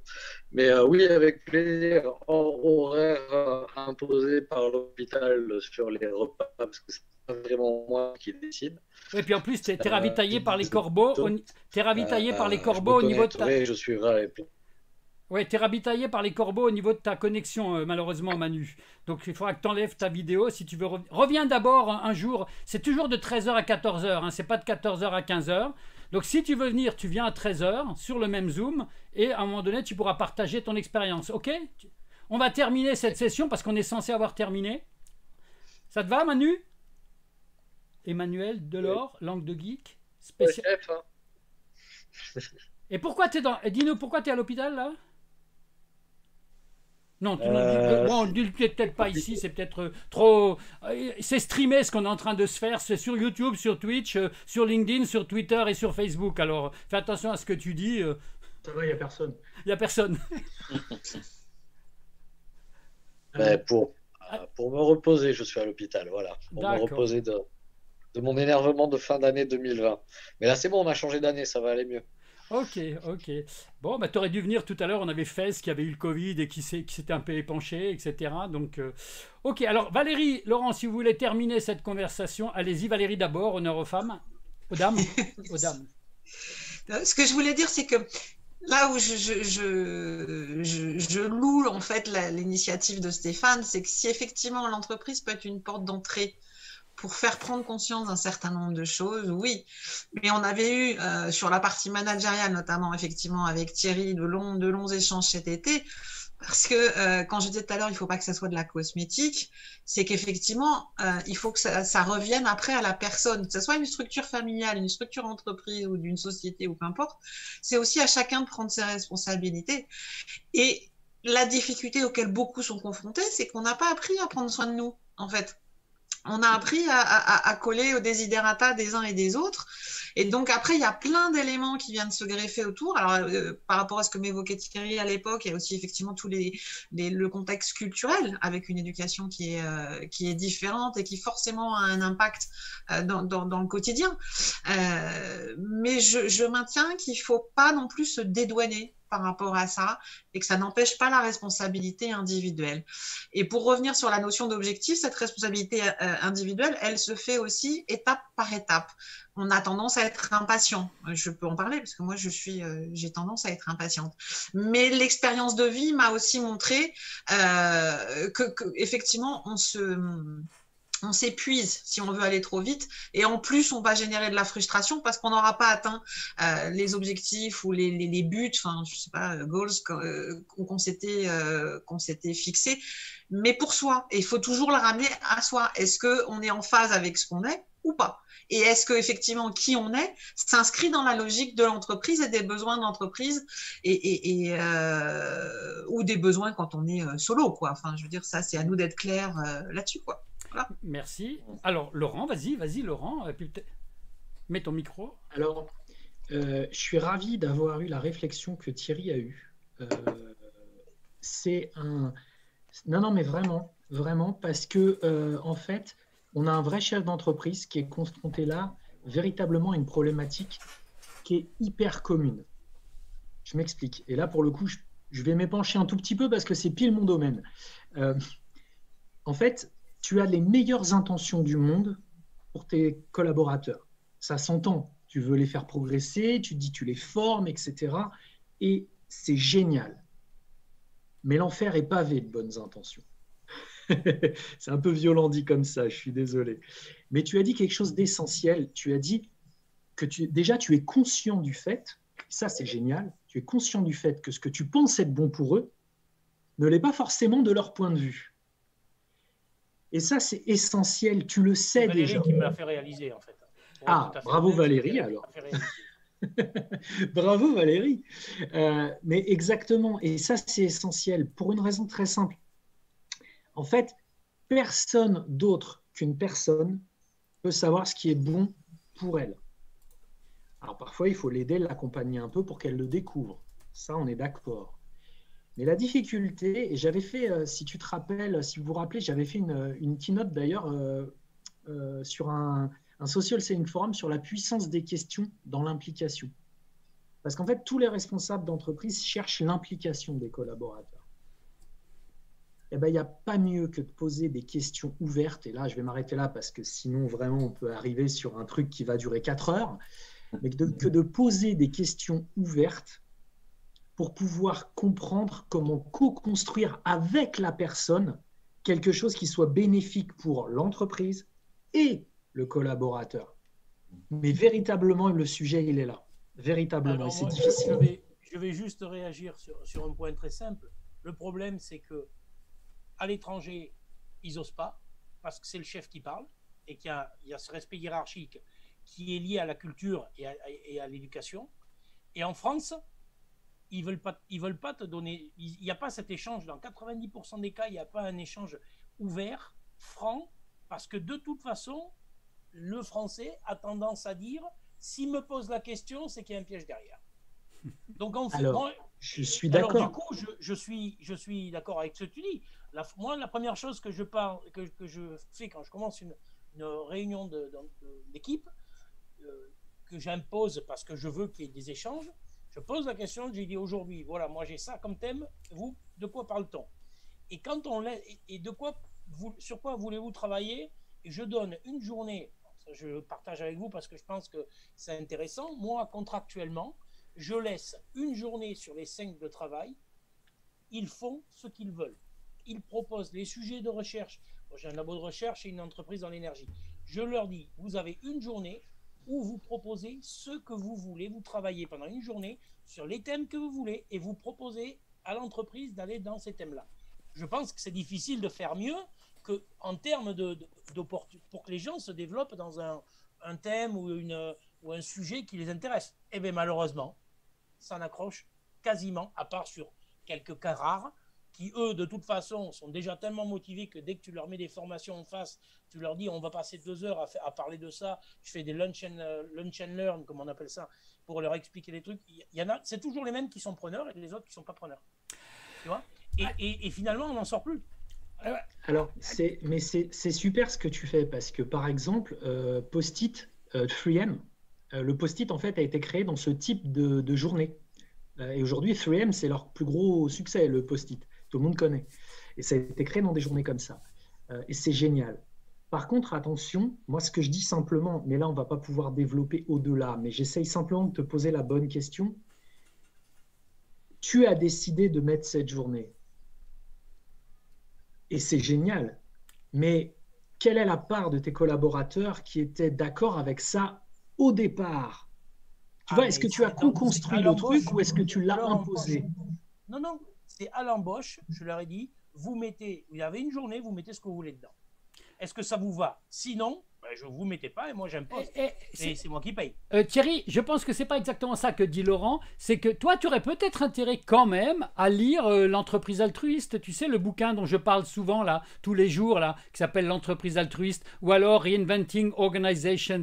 Tu aurais peut-être intérêt à voir si tu pourrais mettre en œuvre dans ton entreprise, comme le fait un Renaud Varocco par exemple, qui, qui a interagi sur LinkedIn là, mais qui n'est pas venu, ou comme le font d'autres. Hein, euh, pour voir si ce genre d'entreprise pourrait fonctionner. Alors je ne sais pas si ça peut fonctionner avec ton aspect multiculturel, etc. Mais peut-être tu pourrais avoir cette réflexion-là de manière à ce que les choses ne viennent pas de toi, en fait. Ouais, mais le, problème, je suis d'accord avec ça, euh, effectivement, mais le, souci, c'est que c'est pas moi qui devrais lire. Si, si. Ce sont les employés. Parce qu'à ce moment-là, il comprendrait l'approche. Non, non, non, non, non, non, Alors non, non, non, non, non, non, je peux pas. Non, non. Là, là, je pense que tu fais une, tu, tu fais une route un petit peu de côté, Thierry. Il me paraît. Tu es le boss de ta boîte, oui ou non? Oui. D'accord. Donc, on est d'accord que toutes les décisions que tu prends dans ton entreprise, tu en es responsable, oui ou non? Oui. D'accord. Donc, partir de, partant de ce moment-là, est-ce que tu es d'accord pour dire que tu as la charge de trouver les bonnes ou la bonne manière d'impliquer tes collaborateurs dans la vie de l'entreprise et dans le fonctionnement de l'entreprise pour qu'elle tourne mieux? Oui. D'accord. Sauf que. Donc il est. Alors attends, attends, si tu veux bien, laisse-moi aller. Eh, c'est des questions pièges, hein, Thierry, fais gaffe. Hein. Oui, bah oui, bah piège pour l'aider, ça va. non, mais justement, c'est pour gratuites. C'est pour montrer que. Mais c'est ça, mais c'est, mais voilà, mais ça sert à ça au SMIDI. On est, c'est, exactement le, but de ça, entraide entre. Entraide. On est en plein dedans. Et eh ben justement, euh, je t'invite à te questionner réellement sur toi et ta manière de gérer ton entreprise. Euh, les bouquins que tu as conseillés, Loïc, véritablement, lis-les. Ils sont super intéressants et même si tu fais pas tout, il y a des choses à prendre. Mais à partir du moment où tu vas dire, c'est pas moi, c'est les autres, déjà, à mon sens, tu, pars de côté. Non, non, mais c'est pas du tout ce que j'ai dit. Ce que j'ai dit, c'est que les notions qui sont abordées dans, j'en ai lu plusieurs de ces ouvrages-là, les notions qui sont abordées dedans sont intéressantes. Le problème, c'est que si tu veux avoir un discours sur une thématique ou sur une façon de faire, il faut que les gens puissent comprendre cette thématique et que ce qui est décrit dans, ce qui est décrit dans ces bouquins, très honnêtement, alors moi je travaille avec des étrangers ici, enfin des nationaux du pays, mais pas des Français. Donc si tu veux, eux, ils ont une approche culturelle et, et dans leur éducation qui n'est pas du tout la même. Un patron est là pour diriger, eux sont là pour suivre. Et moi, quand je veux justement les faire marcher à côté hmm. et les faire progresser pour avancer, c'est là que ça ne, ça ne suit plus.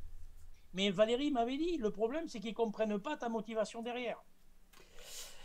Alors, c'est un vrai sujet, c'est un vrai sujet, effectivement. Et je ne suis, pas, je suis pas tant sûr que ce soit le problème de ta motivation derrière. Euh, non, mais parce que Valérie, elle m'avait bon, évidemment, elle avait pris beaucoup plus de temps pour décrire ça en, par écrit, mais elle m'avait, elle m'avait clairement dit, euh, voilà, toi, tu les, tu, tu, tu veux les former, tu veux les accompagner pour qu'ils évoluent et pour qu'ils progressent et pour qu'ils puissent prendre de la responsabilité. Mais est-ce que toi, quelle est ta vraie motivation à toi derrière? Est-ce que c'est de délester ou c'est autre chose? Elle n'a pas tout à fait tort là-dessus. Parce que moi, j'aimerais aussi me libérer du temps pour faire d'autres activités pour l'entreprise pour que justement elle aille mieux. Donc me délester de certaines tâches. Et c'est peut-être ça qui n'est pas bien compris. Et là, je suis d'accord. C'est pour ça que les échanges comme ça sont toujours intéressants. En revanche, je suis, je suis convaincu d'une chose, c'est que cet aspect culturel, il change tout. Quoi. Et euh, que, c'est compliqué d'appliquer des, méthodes d'Européens à, l'Asie, par exemple. Alors, attends, Laurent, peut-être que Valérie, voulait, puisqu'elle a été plusieurs fois nommée, tu voulais réagir ou laisse Laurent continuer? Oui, on avait beaucoup échangé avec, euh, avec Thierry sur le management et je, lui, je l'avais interpellé aussi sur la notion euh, d'intention, parce que si ces intentions peuvent paraître louables, euh, bah, en étant un peu brut de fonderie, peut-être que euh, c'est pas la préoccupation de ses employés. Donc en fait, on avait beaucoup discuté avec beaucoup de questions, et donc euh, tout ça pour dire qu'à un moment donné, il y a un décalage qui peut se créer, et, et, et on parle plus le même langage, au-delà des différences culturelles en plus, euh, qui, fait que les, impacts peuvent être démultipliés ou pas. Donc euh, voilà. Donc après, c'est de se poser aussi à titre individuel. Donc c'est ce que j'avais répondu à, Thierry, à dire toi, concrètement, est-ce que tu es clair, est-ce que tu es honnête sur tes intentions, sur ce que tu veux et comment tu vas le faire? Parce que si tu veux pouvoir progresser, bon, je ne veux pas refaire tous les débats parce qu'on a échangé assez, longuement, mais euh, voilà, c'était de, recadrer euh, et puis surtout d'être euh, au clair avec soi-même parce que c'est lui le boss aujourd'hui. donc tu peux toujours avoir la tentation d'imposer parce que de toute façon, à un moment donné, c'est toi qui paye, c'est toi qui décide. Non, mais je, pousse le trait volontairement tu as raison, mais je vais te rajouter une, information qu'on n'avait pas, parce que nous, on avait parlé l'été dernier. Et entre l'été dernier et euh, aujourd'hui, c'est-à-dire un an, euh, enfin huit mois plus tard. Six mois, ouais. Sept, mois plus tard, nous, on n'a pas été déconfinés du tout. C'est-à-dire qu'on a été confinés le 9 ah, oui. et on est toujours confinés. Et malgré tout, nous, on a perdu 98,6% de notre chiffre d'affaires et j'ai continué à maintenir les emplois. Hmm. Donc à partir de là, je pense quand même que euh, on peut pas trop imaginer, et eux ne l'imaginent pas. Aujourd'hui, ils sont très reconnaissants de la même, si tu veux, de, toujours avoir un boulot, alors que nous, on n'a quasiment plus d'activité. Que moi, quand je vais en France, c'est pour ramener de l'activité, justement. Donc, ils le savent très bien. Mais effectivement, cette histoire de, compréhension et, d'intégration des objectifs de l'entreprise, ils sont pas parce qu'ils n'ont pas, on n'a pas cette, on n'est pas formaté, si tu veux, de la même manière. Mais bon, enfin, c'est un sujet qui prendrait très longtemps euh, et euh, à, débattre. Euh, alors, attends, il y avait quand même, il y avait quand même Laurent qui voulait encore faire une dernière, une dernière réaction, peut-être Stéphane aussi d'ailleurs, ou Manu qui nous écoute religieusement. C'est très bien, Manu. Vas-y, Laurent. Alors, c'est hyper intéressant tout ce que tu dis parce que en fait, tu sais, je fais, moi, je fais ce job et vraiment, parfois, je rencontre des gens. Ils me disent Ah, mais moi, je veux impliquer les employés. Cool. Et la plupart des gens euh, avec qui je travaille, euh, en fait, ils n'ont même pas ton ouverture d'esprit. C'est-à-dire que la plupart du temps, je travaille avec des gens qui sont beaucoup plus dans une logique non, mais moi, je suis le chef, hein. ta gueule, j'ai raison. Tu vois? Et pourtant, au bout d'un moment, j'arrive à travailler avec eux et leur faire comprendre tout simplement que même s'ils ont des bonnes intentions, et là, pour le coup, ils en ont même moins que toi, eh ben, en fait, ils s'y prennent de travers. Donc là, ce que je trouve super dommage, c'est que tu as des super intentions. Et vu ce que tu, me, ce que tu nous dis en face, je trouve ça mais tellement dommage. Ça, c'est la première chose que je veux dire. Il y aurait tellement mieux à faire avec toutes les bonnes intentions que tu as. Ah bah, la et vous, allez continuer. Et la deuxième, c'est que je peux t'assurer, pour l'avoir vécu, que oui, les différences culturelles créent des différences, certes, et que ça demande des traitements un petit peu différents. En revanche, je peux t'assurer d'une chose, c'est que les êtres humains, quels qu'ils soient et quelle que soit leur culture, fondamentalement, ils veulent exactement les mêmes choses. C'est juste dans le comment que ça peut légèrement être modifié. Je te le redis, c'est tellement dommage de voir quelqu'un qui est comme toi et qui n'arrive pas à le faire. Il y a forcément un truc à faire. Non, de il n'a pas dit qu'il n'arrivait pas à le faire, d'ailleurs, Thierry. Et moi, je vais vous dire. De là à dire que je n'arrive pas à le faire, euh, ouais. non, même pas. Mais si, non, mais je, je, je, fais court. Je fais court. Moi, dans, mon, non, mais dans, ma, dans ma mise en œuvre, ça a nécessité un turnover énorme. Parce qu'en fait, les gens n'adhérent pas. Les gens, alors que tu veux faire les choses pour leur mieux, pour leur bien-être, comme disait Stéphane tout à l'heure, en fait, eux le ressentent comme une pression supplémentaire, alors que on a beau leur expliquer, et même, je vais te dire, moi je suis marié avec une Philippine, donc ma femme leur explique en tagalog, dans leur dialogue, dans leur langue, dans leur dialecte même parfois, et, malgré tout, il y en a qui, qui ne... Alors ceux qui restent dans la structure, ceux qui restent dans l'entreprise, eux sont indéboulonnables et, marchent dans la bonne direction, tu vois. Mais ce qui est, ce qui est, ce qui est dommage, c'est, tout ce qu'on perd au milieu, quoi. Tous les gens qu'on, qu'on laisse sur le bord du chemin, parce que euh, ben, tu es, obligé d'en avoir, pour en avoir un, deux, trois, quatre qui constituent un noyau très très dur de, de, de, l'organisation et, et, sur qui tu peux vraiment t'appuyer, ben en fait, tu es obligé d'en laisser 80 sur le bord de la du chemin. C'est dommage. Thierry, moi je me pose une dernière question en, ce qui te concerne, c'est est-ce que tu n'as pas intérêt, toi, à revoir également quel est ton core business du futur hein? Est-ce que, tu es dans le, est que tu es dans le bon domaine, dans le bon secteur, dans, les bonnes, dans la bonne industrie, dans le bon, dans, dans, le bon vibe par rapport à ce qui doit se passer dans le futur au niveau euh, du monde et des, et des, habitants de la planète Il faut que tu te poses cette question-là. Je ne sais pas. Tu du pétrole?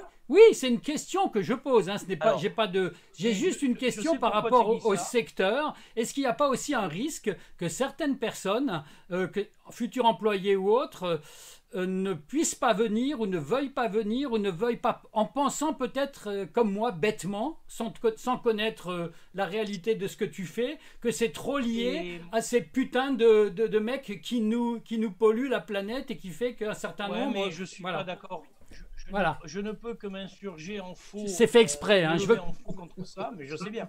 non, en fait, en, fait, je vais te dire, aujourd'hui, quand on parle d'environnement, euh, moi, je n'ai jamais, ça fait 20 ans que je travaille, je n'ai jamais rejeté un litre de polluant dans la mer. Et je me suis même fait virer de certains jobs parce que certains patrons de très très grosses entreprises voulaient eux que je le fasse. Donc, euh, ce que je veux te dire par là, c'est qu'on peut faire du pétrole sans polluer, ça c'est possible. Que tout ce qu'on fait en pétrole, on le fait aussi en géothermie. D'ailleurs, j'étais en France pour la géothermie euh, quand, le, mois dernier. que toutes les méthodes sont les mêmes et qu'on peut faire de l'énergie propre, euh, verte, comme vous l'appelez à partir de géothermie par exemple, qui soit euh, sur les mêmes concepts et les mêmes pratiques. Donc le problème, c'est pas tellement le, secteur d'activité, mais je te rejoins sur un fait, c'est vrai, c'est que j'ai aussi une activité cosmétique et que depuis que j'ai diversifié la cosmétique, j'ai beaucoup plus de gens qui sont enclins à me rejoindre, mais aussi parce qu'ils pensent que c'est moins salissant et que ça rapporte plus, alors qu'en fait c'est faux. Hein, d'accord, d'accord. Bon, en tout cas, c'est une réflexion néanmoins. Je pense que quand même que tu devrais te payer le livre L'entreprise altruiste, qui est plus facile d'accès peut-être que Reinventing Organizations, qui par contre est en français aussi, hein, Reinventing Organizations, avec un titre à la con, mais c'est du français. Hein. Ils en audio, ton, super livre. Ils existent tous en audio. Ils existent tous en audio sur Audible en plus. Hein. L'altruiste, je crois pas, hein, sur Audible. Hein, si, cherché. si l'entreprise altruiste existe, mais sur Audible. Je dis bien, ils existent sur moi, Audible. Je la version britannique, c'est possible? Ils n'ont pas anglais? Si, si, pas sur Amazon, tu vas la trouver. Non, mais pourquoi Pourquoi je dis ça? C'est parce qu'au passage, une fois que je l'aurai lu, je le laisse traîner dans la salle de réunion. Peut-être qu'il y en a Et pourquoi pas? Non, l'entreprise altruiste, il est uniquement en français, malheureusement, aujourd'hui. Je ne crois pas qu'il ait été traduit en anglais. Il a un an euh. d'existence. C'est Isaac Getz, le pape de l'entreprise libérée, qui l'a écrit avec Laurent Marbachet. Et, c'est beaucoup mieux admis que l'entreprise libérée, qui n'avait pas un grand, un grand écho dans beaucoup de secteurs, alors que entreprise altruiste, ça fait mieux. Et c'est vachement bien. C'est vraiment mhm. super à tous les niveaux. Et il y a beaucoup d'exemples de l'Asie, et notamment de la, du Japon, avec le monozukuri, etc., des choses comme ça. Qu'est-ce qu'il dit, Manu? Il, existe, je l'ai en face de il existe, je l'ai en face des yeux, il n'y a pas de problème. Il existe en anglais C'est moi qui ai dû faire de la dyslexie. Ah non, non, non, en français, mais il est bien disponible audible. Il est Oui, parce que Manu, comme moi, on aime bien écouter les livres audio comme ça pendant qu'on marche ou pendant qu'on fait autre chose, n'est-ce pas, Manu? Bien, c'est que j'ai pas le choix. Donc, ça, la question se pose pas. S'il n'y a pas d'audio, il n'y a pas de lecture. Pourquoi? Parce que j'ai un rythme de lecture qui est trop lent pour saturer mon attention euh, pour pouvoir lire sur du papier ou sur une tablette. D'ailleurs, ça fait le même effet. Je peux lire un article de web, je peux lire une news, je peux lire un tweet, il n'y a pas de problème là-dessus. Mais un niveau de concentration sur un livre où il y a juste une liste de mots avec un numéro de page, je n'ai jamais lu de livre de ma vie, de livre papier de ma vie. Euh, par contre, en livre audio, je vous défie en vitesse euh, quand vous voulez. Tu les lis à quelle vitesse par rapport à la... moi, je, moi, je les lis à 1,15 parce que je suis un peu con. Hein. Idriss Aberkan, je l'ai fait en 2,6. Waouh, 2,6. Ok, ok. Mais moi, je l'ai lu deux fois déjà parce que je comprenais pas, même à 1,15, tu vois. Là, je suis en train de lire euh, Obama, hein, le livre d'Obama. Alors, celui-là, je je vous le conseille pas. Hein. Sauf si vraiment, vraiment, vous êtes très intéressé par les, par les ressorts de la politique aux États-Unis. Mais lui, tu peux le lire à trois, à mon avis. Hein, effectivement. Euh, mais Euh, qu'est-ce que je voulais dire Oui. C'est euh, quoi 1,5, 2,6 ou 3 C'est la vitesse de débit. La vitesse. La vitesse de lecture. Tu multiplies la vitesse de lecture normale par, par 2 ou 3 comme il le fait lui. Et moi c'est 1,15 moi. Ouais, sur, sur YouTube, en fait, on est limité au x2. On ne peut pas aller plus vite sur YouTube que du x2, qui est le maximum. Alors que sur Audible, le maximum est à 3, ce qui peut être intéressant quand le lecteur est particulièrement lent et monotone. Euh, franchement, les, les, deux, tu peux les atteindre relativement vite. Avec un entraînement, tu peux gagner un dixième par semaine. Donc, euh, au bout de 10 semaines, euh, généralement, tu peux arriver à monter au x2 et ça se règle assez finement sur Audible. Et mine de rien, lire deux fois plus de livres par an, ben, ça change une vie. Hein. On devient un sacré expert dans sa thématique. Je suis tout à fait d'accord avec toi. Et Manu il y, a un proverbe, il y a un très beau proverbe qui dit Leaders are readers. Readers. Ouais. Ok. Ben, Manu fait partie de ces 10, vous l'avez remarqué, hein, ça fait partie de ces personnes hein, avec un cerveau différent, de, comme, comme on en a beaucoup d'ailleurs au Social Selling Forum. Hein, vous avez euh, Géraldine qui nous fait souvent des ça se sait et qu'on on m'enferme à l'hôpital. Donc, euh, ouais, ouais, ouais, ça des ça n'a pas que des avantages. Tu devrais venir par contre au Social Selling Forum avec, euh, comment il s'appelle, avec Frédéric Bernier. On a une session spéciale un peu sur, euh, sur devenez unique, soyez unique pour faire la différence. Enfin, encore une. Hein. Il y a une ou deux sessions autour de ça au Social Selling Forum Festival entre le 20 et le 26. Je te le dis, Manu, si tu veux. Il y a aussi, il y a aussi des sessions où tu peux parler vidéo, évidemment, hein, si tu as envie. Tu sais, moi, la vidéo, c'est un sujet comme un autre. Hein. dans deux ans, j'en aurai plus rien à faire. pour l'instant, il aide les atypiques. Et pour l'instant, sur son profil LinkedIn, il y a marqué J'aide les atypiques à décoller en vidéo. Tu vois? Voilà. C'est pas faux. C'est pas, faux. C'est effectivement ce que je fais actuellement. Mais ça peut être euh, J'ai un restaurant à sushi dans trois ans, tu vois, il y aura écrit ou j'en sais rien. Et ma vie est faite comme ça, c'est parce que ça va être difficile de faire de toute façon. 5, 5 ans, 10 ans ou 15 ans la même chose, ça ne fait pas partie de moi. Eh ben, vous connaissez Anastasia Guignard, non? Anastasia Guignard, je vous suggère également d'aller voir ce qu'elle fait. Anastasia Guignard, vous allez voir maintenant, elle va envoyer du steak. Donc elle est dans, dans, un contexte où elle va effectivement euh, euh, élever des, du bétail, euh, évidemment bio, évidemment totalement RSE, enfin tout ce que vous voulez. Hein, et, et, elle était dans des grandes entreprises où elle était consultante également euh, face à ces entreprises dont on parlait euh, tout à l'heure. Euh, voilà. écoutez, je pense qu'on va peut-être terminer quand même. Là, il est, il est 2h30. On, ça continue à streamer. Je vous signale qu'on continue à faire le streaming exceptionnellement. Parce que finalement, j'ai trouvé que souvent, on avait des discussions en off qui étaient aussi intéressantes qu'en on. Hein, donc, voilà. Est-ce que quelqu'un veut, veut terminer là? Et Manu, tu reviens. Hein. J'espère juste qu'on a, pu, euh, qu'on a pu donner des choses intéressantes, jusque cette demi-heure dépassant. ouais, c'était très intéressant en fait. Hein. J'ai appris des choses. Euh, mais ce que je voulais dire, c'est Thierry qui est aux Philippines, c'est ça, non? Ouais. Ouais, ce que je voulais dire, c'est que est-ce que le. Euh, j'étais en train de, de, réfléchir à ce qu'il disait en fait, parce que moi je me suis trouvé un peu dans cette situation mon dernier job, moi j'étais directeur commercial, j'encadrais 40 personnes. Et en fait, effectivement, lorsqu'on, entre parenthèses, hein, on fait monter quelqu'un, on voit qu'il a le potentiel de prendre un poste, euh, de, grimper. On est, souvent, euh, parfois on est déçu parce qu'on on, est très content de lui offrir cette possibilité, mais en retour, en fait, la personne, elle voit, euh, je comprends ce que dit Thierry, elle voit ça un peu comme une contrainte, en fait. Alors, soit parce qu'on n'a pas expliqué suffisamment ce qu'était le, poste, ce qu'on attendait de la personne, euh, mais en tout cas, il faut que ça soit très très clair. En fait, euh, bah, il y a des avantages et des inconvénients, comme dans, chaque métier, dans chaque poste, en fait. Et quand on, quand on a une, une, promotion, on va dire, entre parenthèses, quand on a l'opportunité de progresser, euh, on voit que les avantages, mais on ne voit pas souvent les inconvénients. Ça veut dire plus d'heures, euh, plus euh, de... on, demande beaucoup plus à la personne, des objectifs précis. Et ça, c'est un problème. un problème en entreprise, en fait.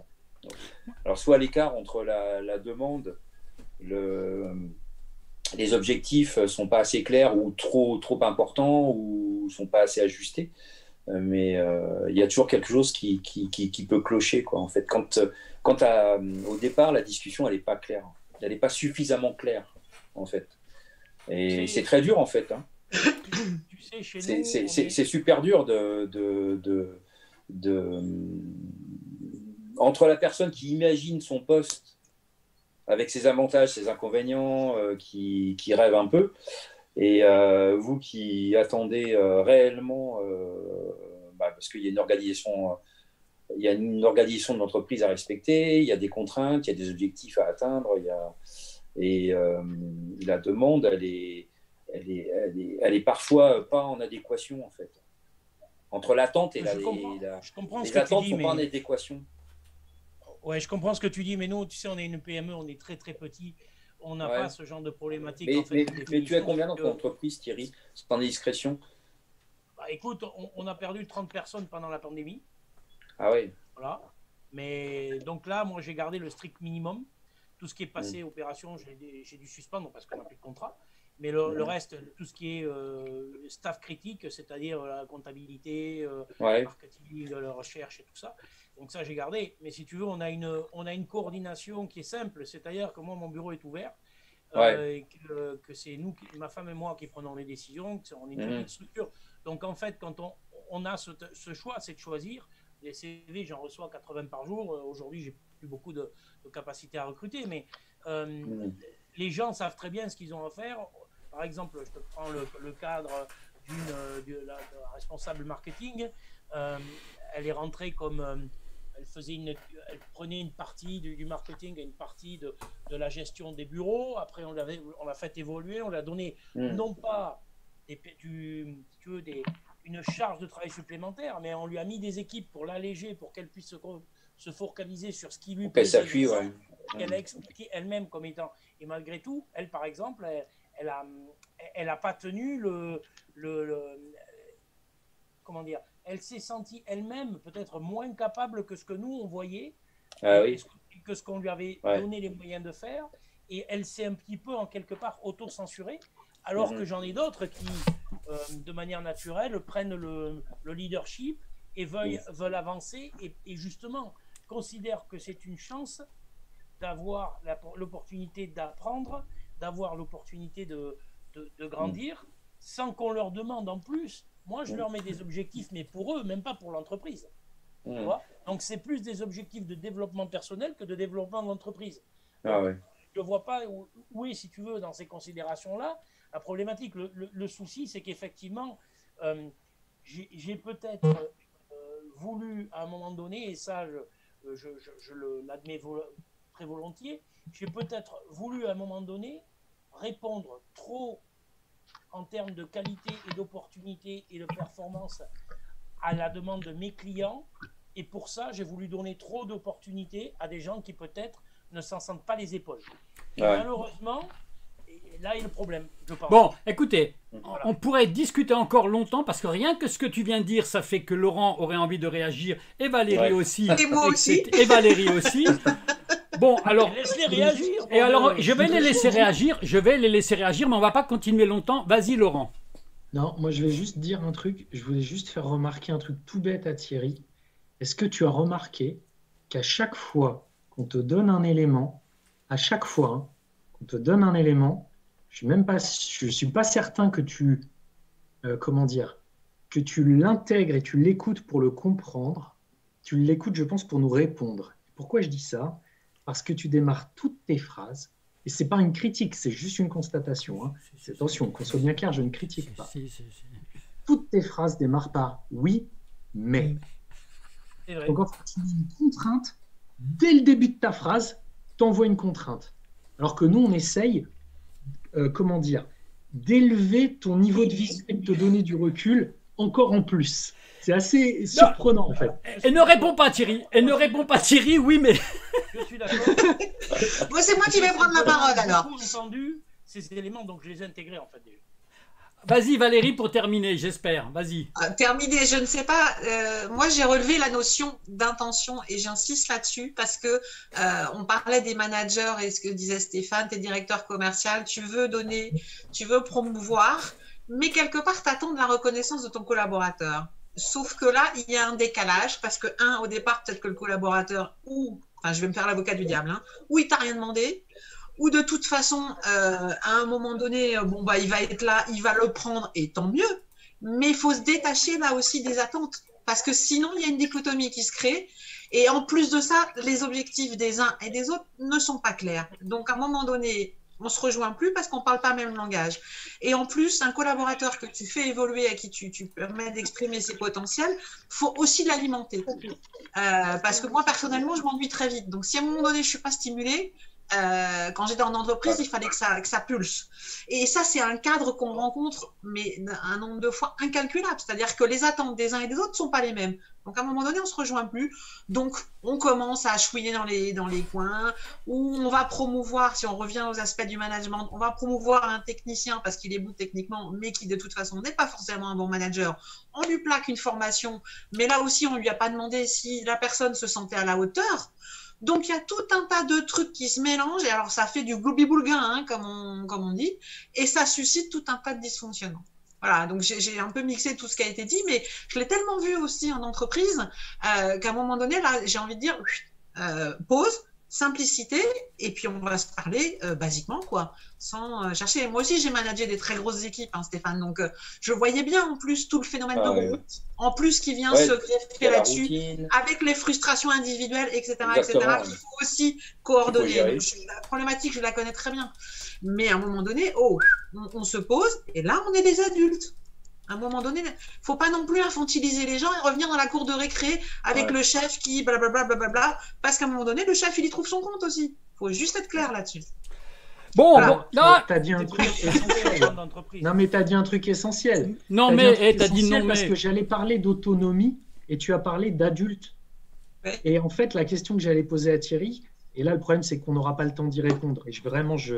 Mais pose-toi la question, et notamment au travers des livres que tu as cité Loïc tout à l'heure, parce que c'est vraiment dans cette idée-là que je l'entends. Quel est le réel niveau d'autonomie que je donne à mes collaborateurs dans l'exécution de leur job? Ça ne demande pas de réponse. Pose-toi Ah, la question ça- réellement. Ça donne une réponse. Ils ont toute, toute autonomie comme ils le veulent.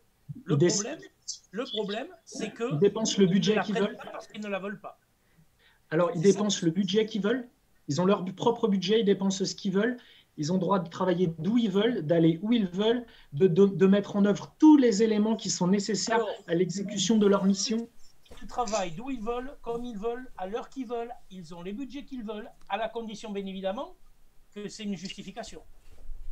Mais Alors, oui, voilà. la réponse est oui, oui. Bon. oui. Ah bah oui, mais attends. Alors, tu vas pas je donner, euh, pense- tu vas je pas donner pense- 100 000 dollars à quelqu'un juste pour le plaisir de dépenser 200 000 dollars. Non mais, attendez, attendez. Alors, c'est pas le sujet, c'est pas le sujet, mais je pense que vraiment, et je répète ce que je disais tout à l'heure, avec ta bonne volonté, je comprends pas que tu, tu, tu es, comment dire, que tu aies des difficultés comme tu nous en parles, euh, ou en tout cas que ça te chagrine, je sais pas comment le dire. Il me- Je mais comprends pas. Il y a forcément un problème de méthode à un endroit. C'est un pas possible.